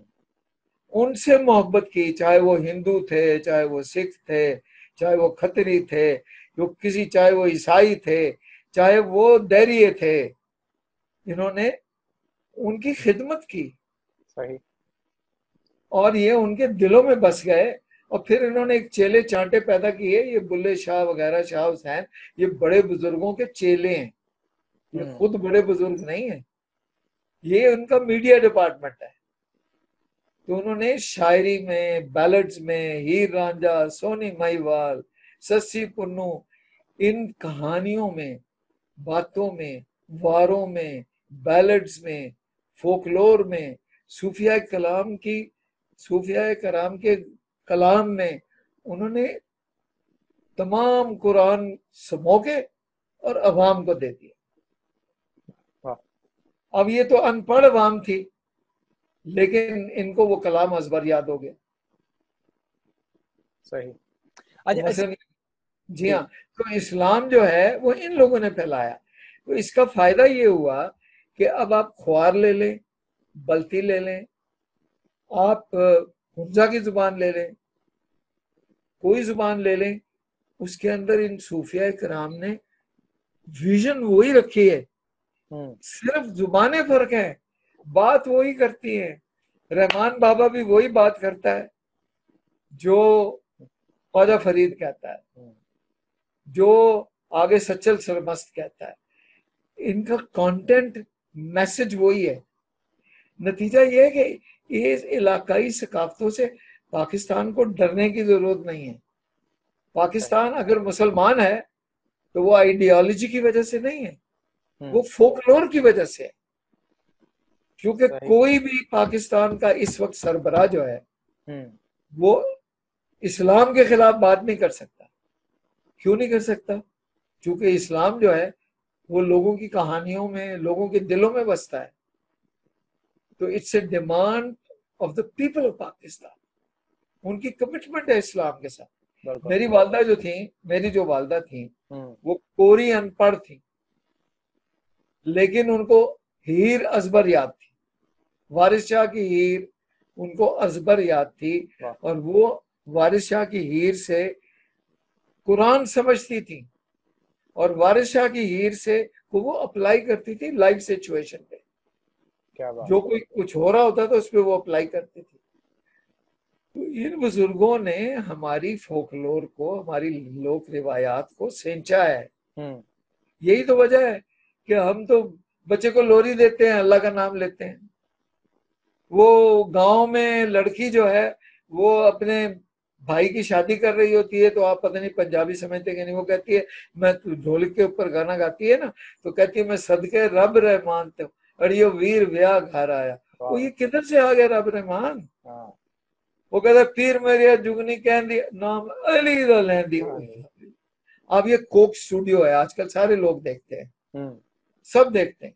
सही। मेरी शर्त है आप कोक स्टूडियो को कहें कि आप सूफिया कराम की जो शायरी है जो काफिया है वो इस्तेमाल नहीं कर सकते। ये बंद हो जाएगा दो दिन में। तो इनके पास कुछ और है ही नहीं। सही बिल्कुल। इनके पास कुछ और है ही नहीं। कितने दिन फैज को गाएँगे? फैज को अगर गाएँगे भी तो वो अवामी नहीं है। हम्म। लेकिन जब ये ख्वाजा फरीद को गाएँगे तो वो आधा पाकिस्तान फड़क जाएगा। बुल्ले शाह को। बिल्कुल बिल्कुल। और और इसे ये जो आपने बात की ना कि आपकी वालदा को हीर जबानी आती इस तरह आप देखें कि अलामा इकबाल की जो शायरी है वो भी एक तरह से कहा जाता है कि वो वो कुरान का निचोड़ है कुरान की तफसीर है। और अलामा इकबाल जो थे वो तो वो भी एक कमीशन वो भी अल्लाह के ज़ीरो ज़ीरो सेवन थे। हम्म। तो बड़ी ऑब्वियस बात है। वो भी यही काम कर गए हैं कि वो हमें हमें उर्दू में फारसी में कुरान की जो मगज है ना वो आपको दे गए शायरी में। सही। और अफसोस ये है कि पहले आज से कुछ पंद्रह बीस साल पहले अलामा इकबाल को पढ़ाया जाता था। बाकायदा अजबर बच्चे याद करते थे। स्कूलों में लपटे आती है दुआ बन के तमन्ना मेरी। डेली सवेरे पढ़ा जाता तराना कौमी तराना नहीं ये पढ़ा जाता था। हम्म। अब नहीं अब बंद हो गया काम सारा। ये बड़े अफसोस की बात। बिल्कुल बिल्कुल। सही। अच्छा सर एक और बात पूछना चाहूँगा। मेरा आ, मेरी तकरीबन कोई 28-30 साल जो उम्र है उसमें मैंने ये चीज़ ना नोट की है कि हम हम लोगों के पाकिस्तान में जो हमारे जो मसाइल हैं उनकी हर कोई अपने अपने तौर पे इंटरप्रिटेशन करता है कि भाई इकोनॉमी बेहतर होनी चाहिए और फॉरेन रिलेशन बेहतर हो। इसके अलावा पाकिस्तान में वसाइल की कमी है और सियासी अदम इस्तेकाम है, एक लंबी फहरिस्त है। मेरा उसमें एक एक मैं ऐड करता हूँ कि हम लोगों के मसाइल की एक बड़ी वजह शायद ये भी है कि हम अपने कल्चर से दूर हैं और कल्चर की जो बुनियादी असास है, वो वो ज़बान है। हम लोग अपनी ज़बान से दूर होते जा रहे हैं। इसलिए शायद लोग एक दूसरे से कनेक्ट नहीं कर रहे एक दूसरे की प्रॉब्लम समझ नहीं आ रही। और ये जो ये जो क्या कहना जी कि जो खासतौर पे जो नई नस्ल के जो मसाइल हैं वो वो बहुत से इन चीज़ों से जुड़े हुए नज़र आते हैं। सर सिर्फ़ ज़ुबान का मसला नहीं है हम अपने आप से दूर होते चले गए हैं। एलियनेशन इंतहा की हो गई है। हमारी जो अगली जनरेशन है वो तो उर्दू पढ़ती नहीं है। हम्म। मेरे अपने बच्चे उर्दू नहीं पढ़ते वो तो अंग्रेज़ी की किताब पढ़ते हैं अंग्रेज़ी गाना सुनते हैं। और वो तो बाहर जाए तो उन्होंने तो बर्गर किंग पे बैठ के खाना खाना होता है। वो तो पिज्जा खाते हैं या बर्गर खाते हैं वो तो आलू गोश्त को वो, वो समझते हैं कि ये खाने की चीज़ नहीं है। हम्म। कि हमारे जो अगली जनरेशन है वो तो अपना खाना खाती ही नहीं है। वो तो या पिज्जा खाती है या बर्गर खाती है या कोई किसी किस्म का जंक पीती है या वो कोक पीती है या पेप्सी पीती मकसद है हमारे हमारे तो खाने ही खत्म हो गए आप सारा पाकिस्तान घूमे आपको सिर्फ़ दो खाने मिलेंगे। तीन कढ़ाई गोश्त हम्म। दाल माश और बिरयानी। कहा गए वो खाने? वो जो मुगलिया खानदान के खानदाने जिसके खाने थे वो पता नहीं कितनी लंबी फरिश्ते थी वो नरगसी कोफ्ते और वो पता नहीं क्या कुछ था। वो किधर गई? वो जो इलाकाई डिशे थी वो कहाँ गई? अच्छा वो इलाकाई डिशे चले। हम ये नहीं कहते कि आप हुंजा की कोई डिश खिलाए हमें। आपने तो पंजाब की डिशे भी मार डाली। सही। तो हमारा तो कुजिन भी मर गया। हमारे साज मर गए। आपको पता है कि कोई साज ज़िंदा नहीं। तो लोगों ने गटारे बजानी शुरू कर दी और ड्रम सेट्स रख लिए। हम्म। तीन चार साज बचे सरंगी मर गई। रबाब मर गई वो मर गया इसका सुरबहार मर गई। कितने साजों का मैं नाम लू जो मर गए? पखावज मर गई ताशा मर गया। कोई साज नहीं है बीना मर गई। हम्म। कोई साज नहीं है जो बचा हो। हमने कुछ बचाया ही नहीं। हमने अपनी हर चीज़ मार डाली। हमने जो कुछ हमारा था ना हम्म। वो हमने मार डाला। है और किन्होंने मारा? है पढ़े लिखों ने मारा है। अनपढ़ों ने नहीं मारा। ये इशफाक अहमद भी कहा है अशफाक अहमद इस पे बड़ी मार खा के गए कि वो कहते थे कि पाकिस्तान को सारा नुकसान पढ़े लिखे पहुँचा रहे अनपढ़ नहीं पहुँचा रहे।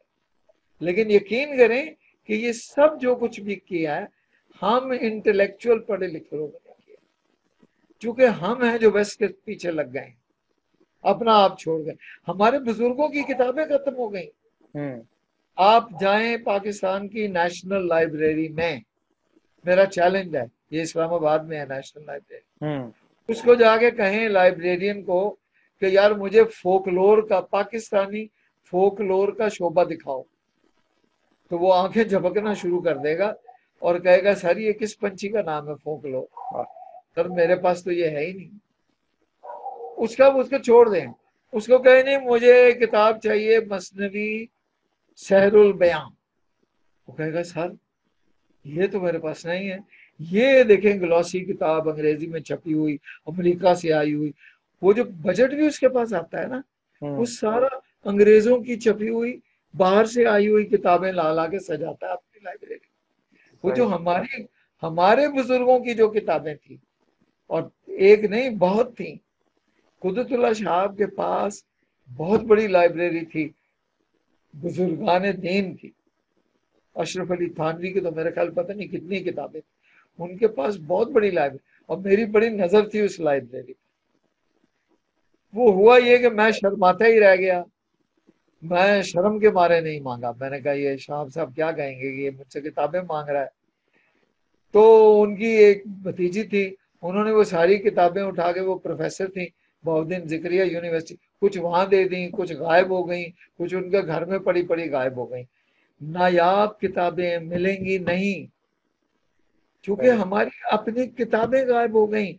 आपको देखें यकीन करें कि हमारा जो असल अदब है ना वो शहर की बड़ी दुकानों पे नहीं मिलता। वो जो हमारी दास्तानें थी अलिफ लैला हम्म। वो जो किस्सा किस्से थे हमारे फलाने की वार और फलान दुल्ले दी वार तो ये थे ना पूरन भगत ये आपको पता है ये अगर आप खुशकिस्मत हैं तो आपको ये अनार कली में फुटपाथ पे मिलेंगे। सही। तो ये हाल है हमारे अपने अदब का। हमारी दास्तानों का। आपकी किसी लाइब्रेरी में नहीं मिलेंगे लोक विरसे को छोड़ दें आप जो को वो मैंने बनाई आपकी किसी लाइब्रेरी में ये मुआद नहीं है। आपको मिलेगा तो अफसोस आपको होगा कि आपको ये किस्सा चार दरवेश लो सर इतनी बड़ी किताब। आप मुझे कहे मुल्ला नाज नसीर उद्दीन चलो जी। लाओ जी ला दो मुझे। नेशनल लाइब्रेरी में जाए उसे किस्सा चार दरवेश दे यार। हम्म। वो आपकी शक्ल देखेगा। वो आपको ले जाकर कहेगा ये सोशियोलॉजी की किताब ले लो मिस्टर कूबर की। ये अभी आई है अमेरिका से छप के आई और मज़े की बात यह है कि हमारी यूनिवर्सिटियों में वही पढ़ाई जा रही है। हम्म। तो मैं तो मुझे तो अफसोस ये है कि हमने तो चलो यार फिजिक्स हमारा मजमून ना था। हम्म। चलो हम साइंस में हम हम हम नील थे। हमारे बुज़ुर्ग थे पर हम हमारे पास साइंस नहीं है फ़र्ज़ कीजिए। चलो केमिस्ट्री में हमने कोई मार्का नहीं मारा ओ भाई हमने तो ह्यूमन ह्यूमैनिटीज हमारी तो ह्यूमैनिटीज हमने उनको इंडिजनाइज नहीं किया सोशियोलॉजी की किताब जो बच्चे एमए में पढ़ते हैं हम्म। उसमें सास बहू का तो ज़िक्र ही नहीं है सास और बहू का जो झगड़ा है हम्म। जो हमारे मुआशरे का बहुत बड़ा एक उसका कोई ज़िक्र नहीं है उसमें तो वो क्या पढ़ते हैं? क्या पढ़ते हैं? वो तो अमेरिकन सोशियोलॉजी पढ़ते हैं। वो तो वहाँ की नफ्सियात पढ़ते हैं। हमारा तो पागल भी फ़र्क है। हम्म। वो जो उस किताब में पागल दिया हुआ ना एबनॉर्मल हम्म। साइकोलॉजी में वो हमारे यहाँ नहीं होता। हमारे तो पागल फ़र्क है। हमने तो ये साइंसिस को इंडिजनाइज नहीं किया तो बाकी तो छोड़ ही दे। और इसीलिए तो, नहीं मकसद है कि हम क्या बनना चाहते हैं? हमारे बच्चे क्या बनना चाहते हैं? व्हाइट मैन मंकी ये मंजिल यही है ना? तो फिर क्या बनेगा? सही, सही। ये सही, बड़ा लंबा रास्ता चुन लिया हमने। अब ये पूरा वेस्ट को अबूर करके वापस आएँगे ये। सही सही। और एक बाल ने कहा ना कि तुम्हारी दास्तान तक ना होगी दास्तानों में। तो और और वो जिसको क्या कहना चाहिए कि अंग्रेज़ क्या कहना कोकोनट्स के वो जो आपने खुद आप आपकी जरा नवाजी है बड़ा पान है कि आप इसको कबूल करें कि ये इंटेलेक्चुअल्स ने पढ़े लिखे लोगों ने ये ये सारी तबाही की है। बिल्कुल की है। हम्म। क्योंकि उन्होंने अपनापन जो है अपने से दूर हो गए। बिल्कुल। अपने से दूर हो गए।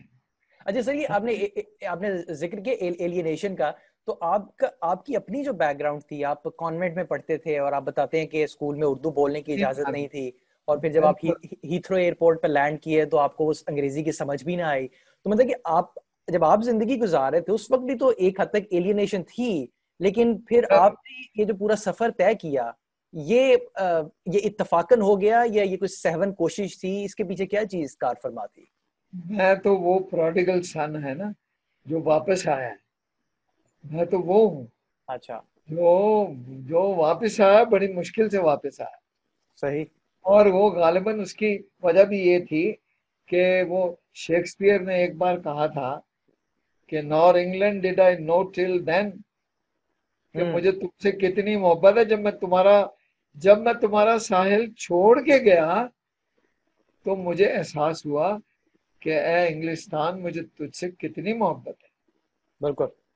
तो अक्सर मुफ्ती की दास्तान भी यही है कि हाँ अंग्रेज़ी स्कूलों में पढ़ा ब्रिटिश हिस्ट्री पढ़ी मॉरल साइंस पढ़ी बाइबल पढ़ी।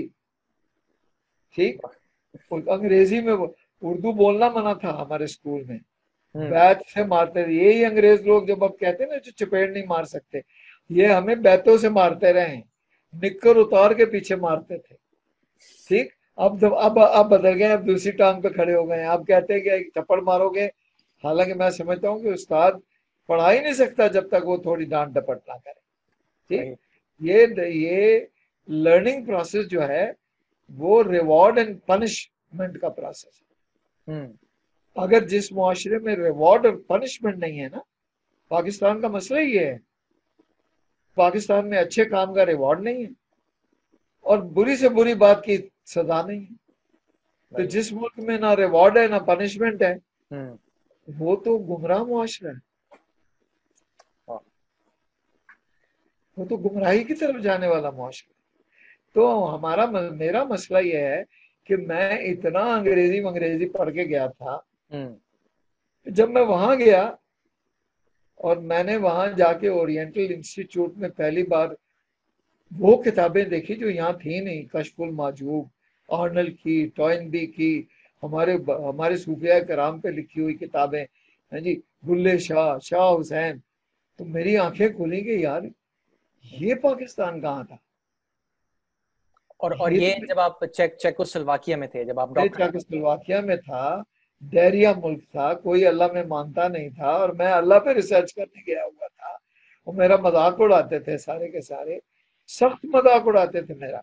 मुझे कहते थे मुफ्ती यार तू तो हमें पढ़ा लिखा आदमी लगता है, तू बातें तो तू बड़ी आलिमों जैसी करता है डिस्कशन तो बड़ी अच्छी करता है, पर ये क्या तू अल्लाह में मानता है यार, तू क्या तू इतना ना लायक है, अल्लाह तो कोई चीज़ नहीं है, ये तो हमें वहम है, तुम्हारा गुमान है, ये तो पुराने वक्तों की कहानी है, यार तुम नाउ यू शुड ग्रो तो मेरा ये होता था कि वहाँ सड़क पे हम जा रहे होते थे ना, लड़कियों ने हाई हील पहनी होती थी। तो एक दिन ये हुआ ये बड़ा बड़ा मेरा मज़ाक उड़ा रहे थे कि यार तुम मजहबी हो तुम कैसे बंदे हो यार? तो तुम मुझे लगता है कि छुप के नमाज़ भी पढ़ते होगे। ये तुम यार ये तुम अल्लाह में मानते हो। ये भी कोई मानने वाली चीज़ है। तुम तो बहुत पढ़े लिखे आदमी तो रोशन ख्याल आदमी। इतने में वो लड़की जो थी वहाँ पत्थर की सड़कें थी। हम्म। तो एक दराज दर्ज में ना उसकी एड़ी फंस गई। तो उसको आया मोच। हम्म। तो जब उसको मोच आया तो वो कहती है शीश मारिया और बैठ गई। तो मैंने कहा ये है शीश मारिया ये क्या है? हम्म। है शीश मारिया। पता चला वो जीसस इन मेरी। तो मैंने कहा कि ये मेरा मज़ाक तुम क्यों उड़ा रहे हो?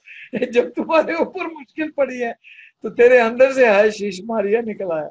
वाह वाह क्या बात। तो बल्कि वहाँ से जो आपके आपके जो खत आते थे मुमताज़ मुफ्ती को बताते ना तलाश में कि अक्सी हाँ। मुफ्ती मुझे कहते हैं कि हर उसके सामने चर्च के सामने एक अल्लाह ताला बैठा हुआ है और लोगों का मुंतजर है कि वो बस आए और उसको गले लगा ले आके। तो वो वो बड़ी बड़ी प्यारी वो बातें उन्होंने वो उसमें लिखी है वो।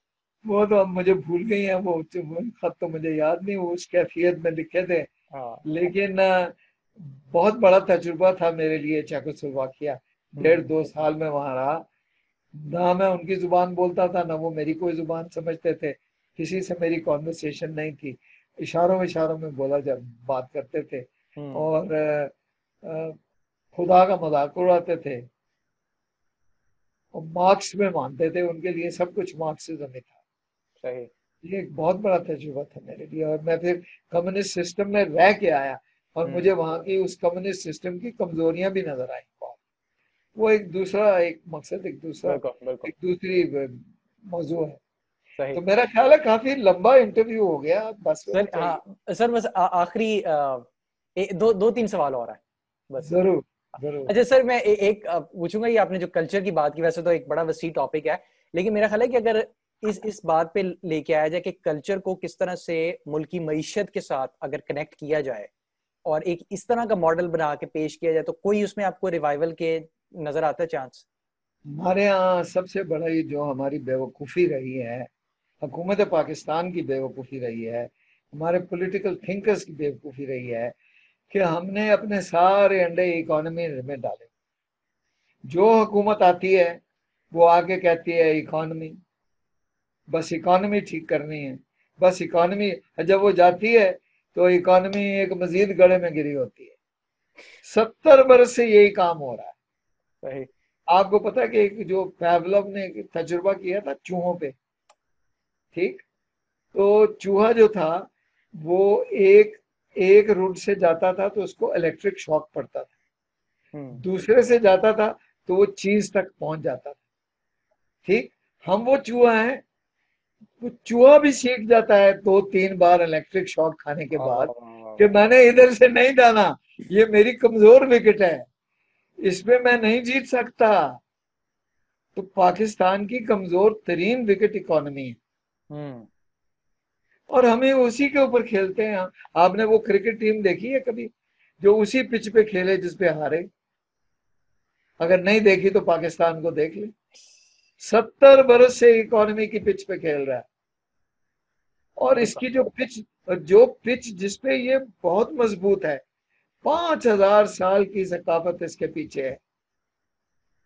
और मोहिंजदारो जो है, वो मोहिंजदारो नहीं है, वो वेद हैं। हम्म। वो अल्लाह का पैगाम है। हम्म। वेद जो हैं वो देखें कुरान शरीफ में है कि हमने कुछ कौमों को किताबें दी और कुछ को सहीफे दिए। ये कुरान है।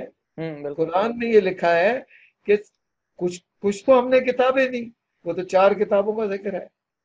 और कुछ को हमने कोई कौम नहीं है जिसको हमने अल्लाह मियाँ का पैगाम नहीं पहुँचाया। और कुछ कुछ को हमने सहीफे दिए। तो सबसे कदीम सहीफा जो है वो वेद है। हम्म। जो कहा उतरे? पाकिस्तान में। ये तो मजहबों का गहवारा है पाकिस्तान। हिंदुइज्म हमने दिया हिंदुस्तान को चूँकि वेद यहाँ उतरे। सही।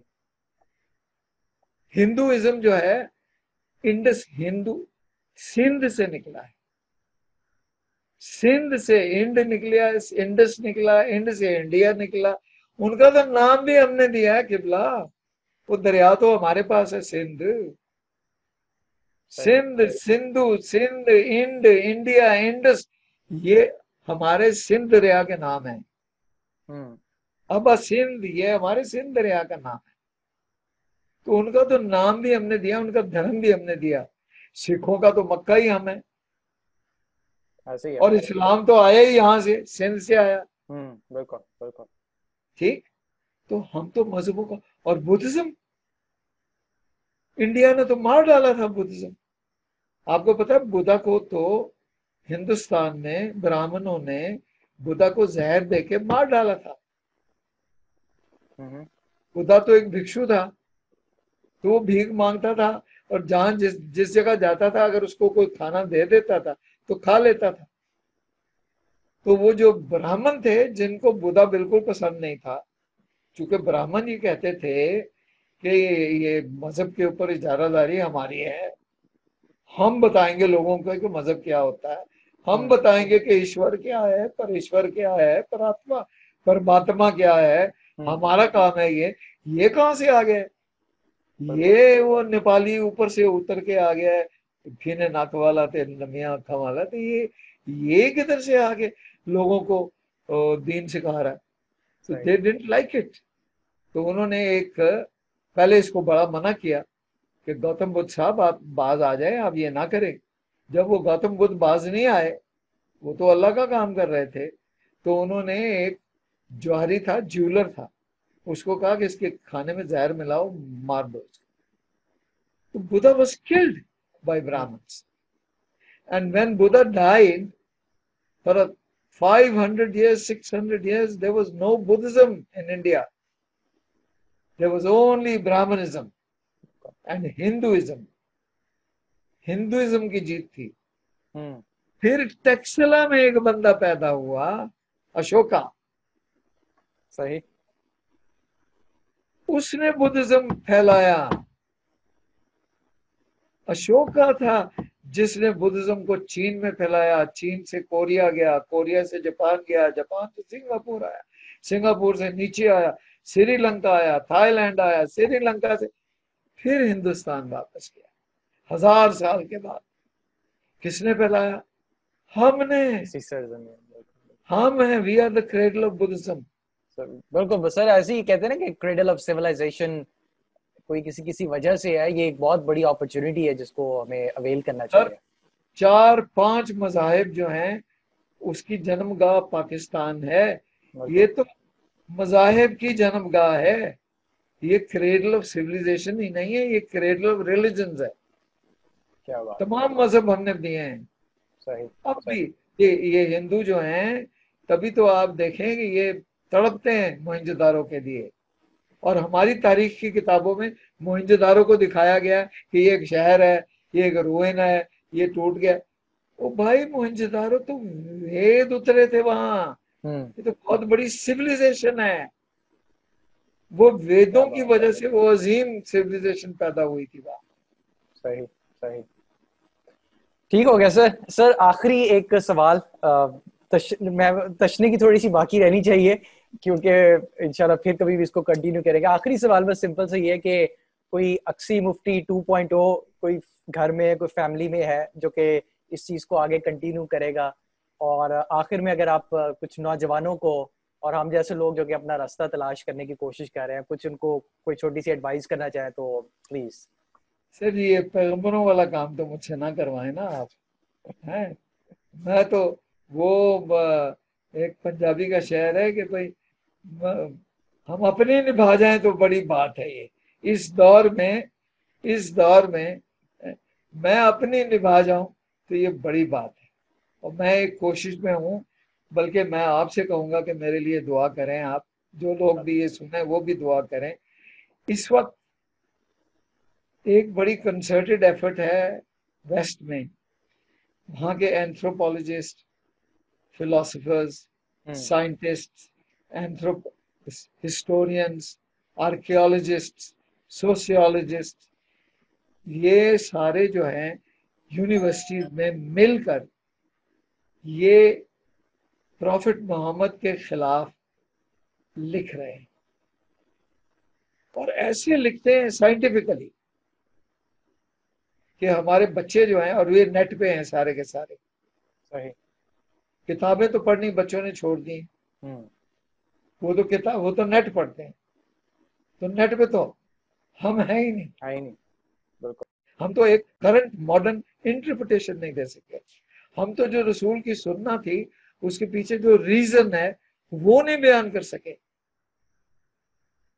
After all the prophet was not an unreasonable man absolutely absolutely there was a reason behind whatever he did हम तो उसको नहीं बयान कर सके तो मौलवियों के हाथ में किस्से, कहानियों और फजूल हदीसों में पड़े हुए हैं। और जितनी बकवास इस वक्त वेस्ट कर रहा है, हमारे पैगंबर के बारे में, वो वो बकवास है जो हमारे ही मुहदसों ने उनको पकड़ाई है। हम ही ने लिख लिख के वो बकवास उनको दी है।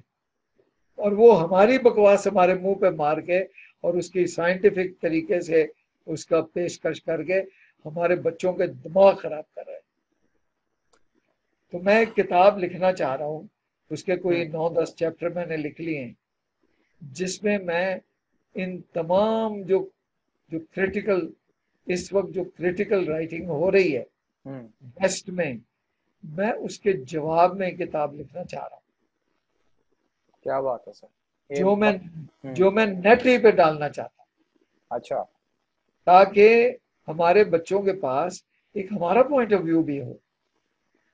और वो परेशान ना हो जाए इनको पढ़ पढ़ बिल्कुल।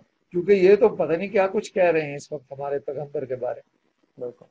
Sir it's it's a war of narratives कोई बात है कि मीडिया का दौर है आपकी जितनी आवाज़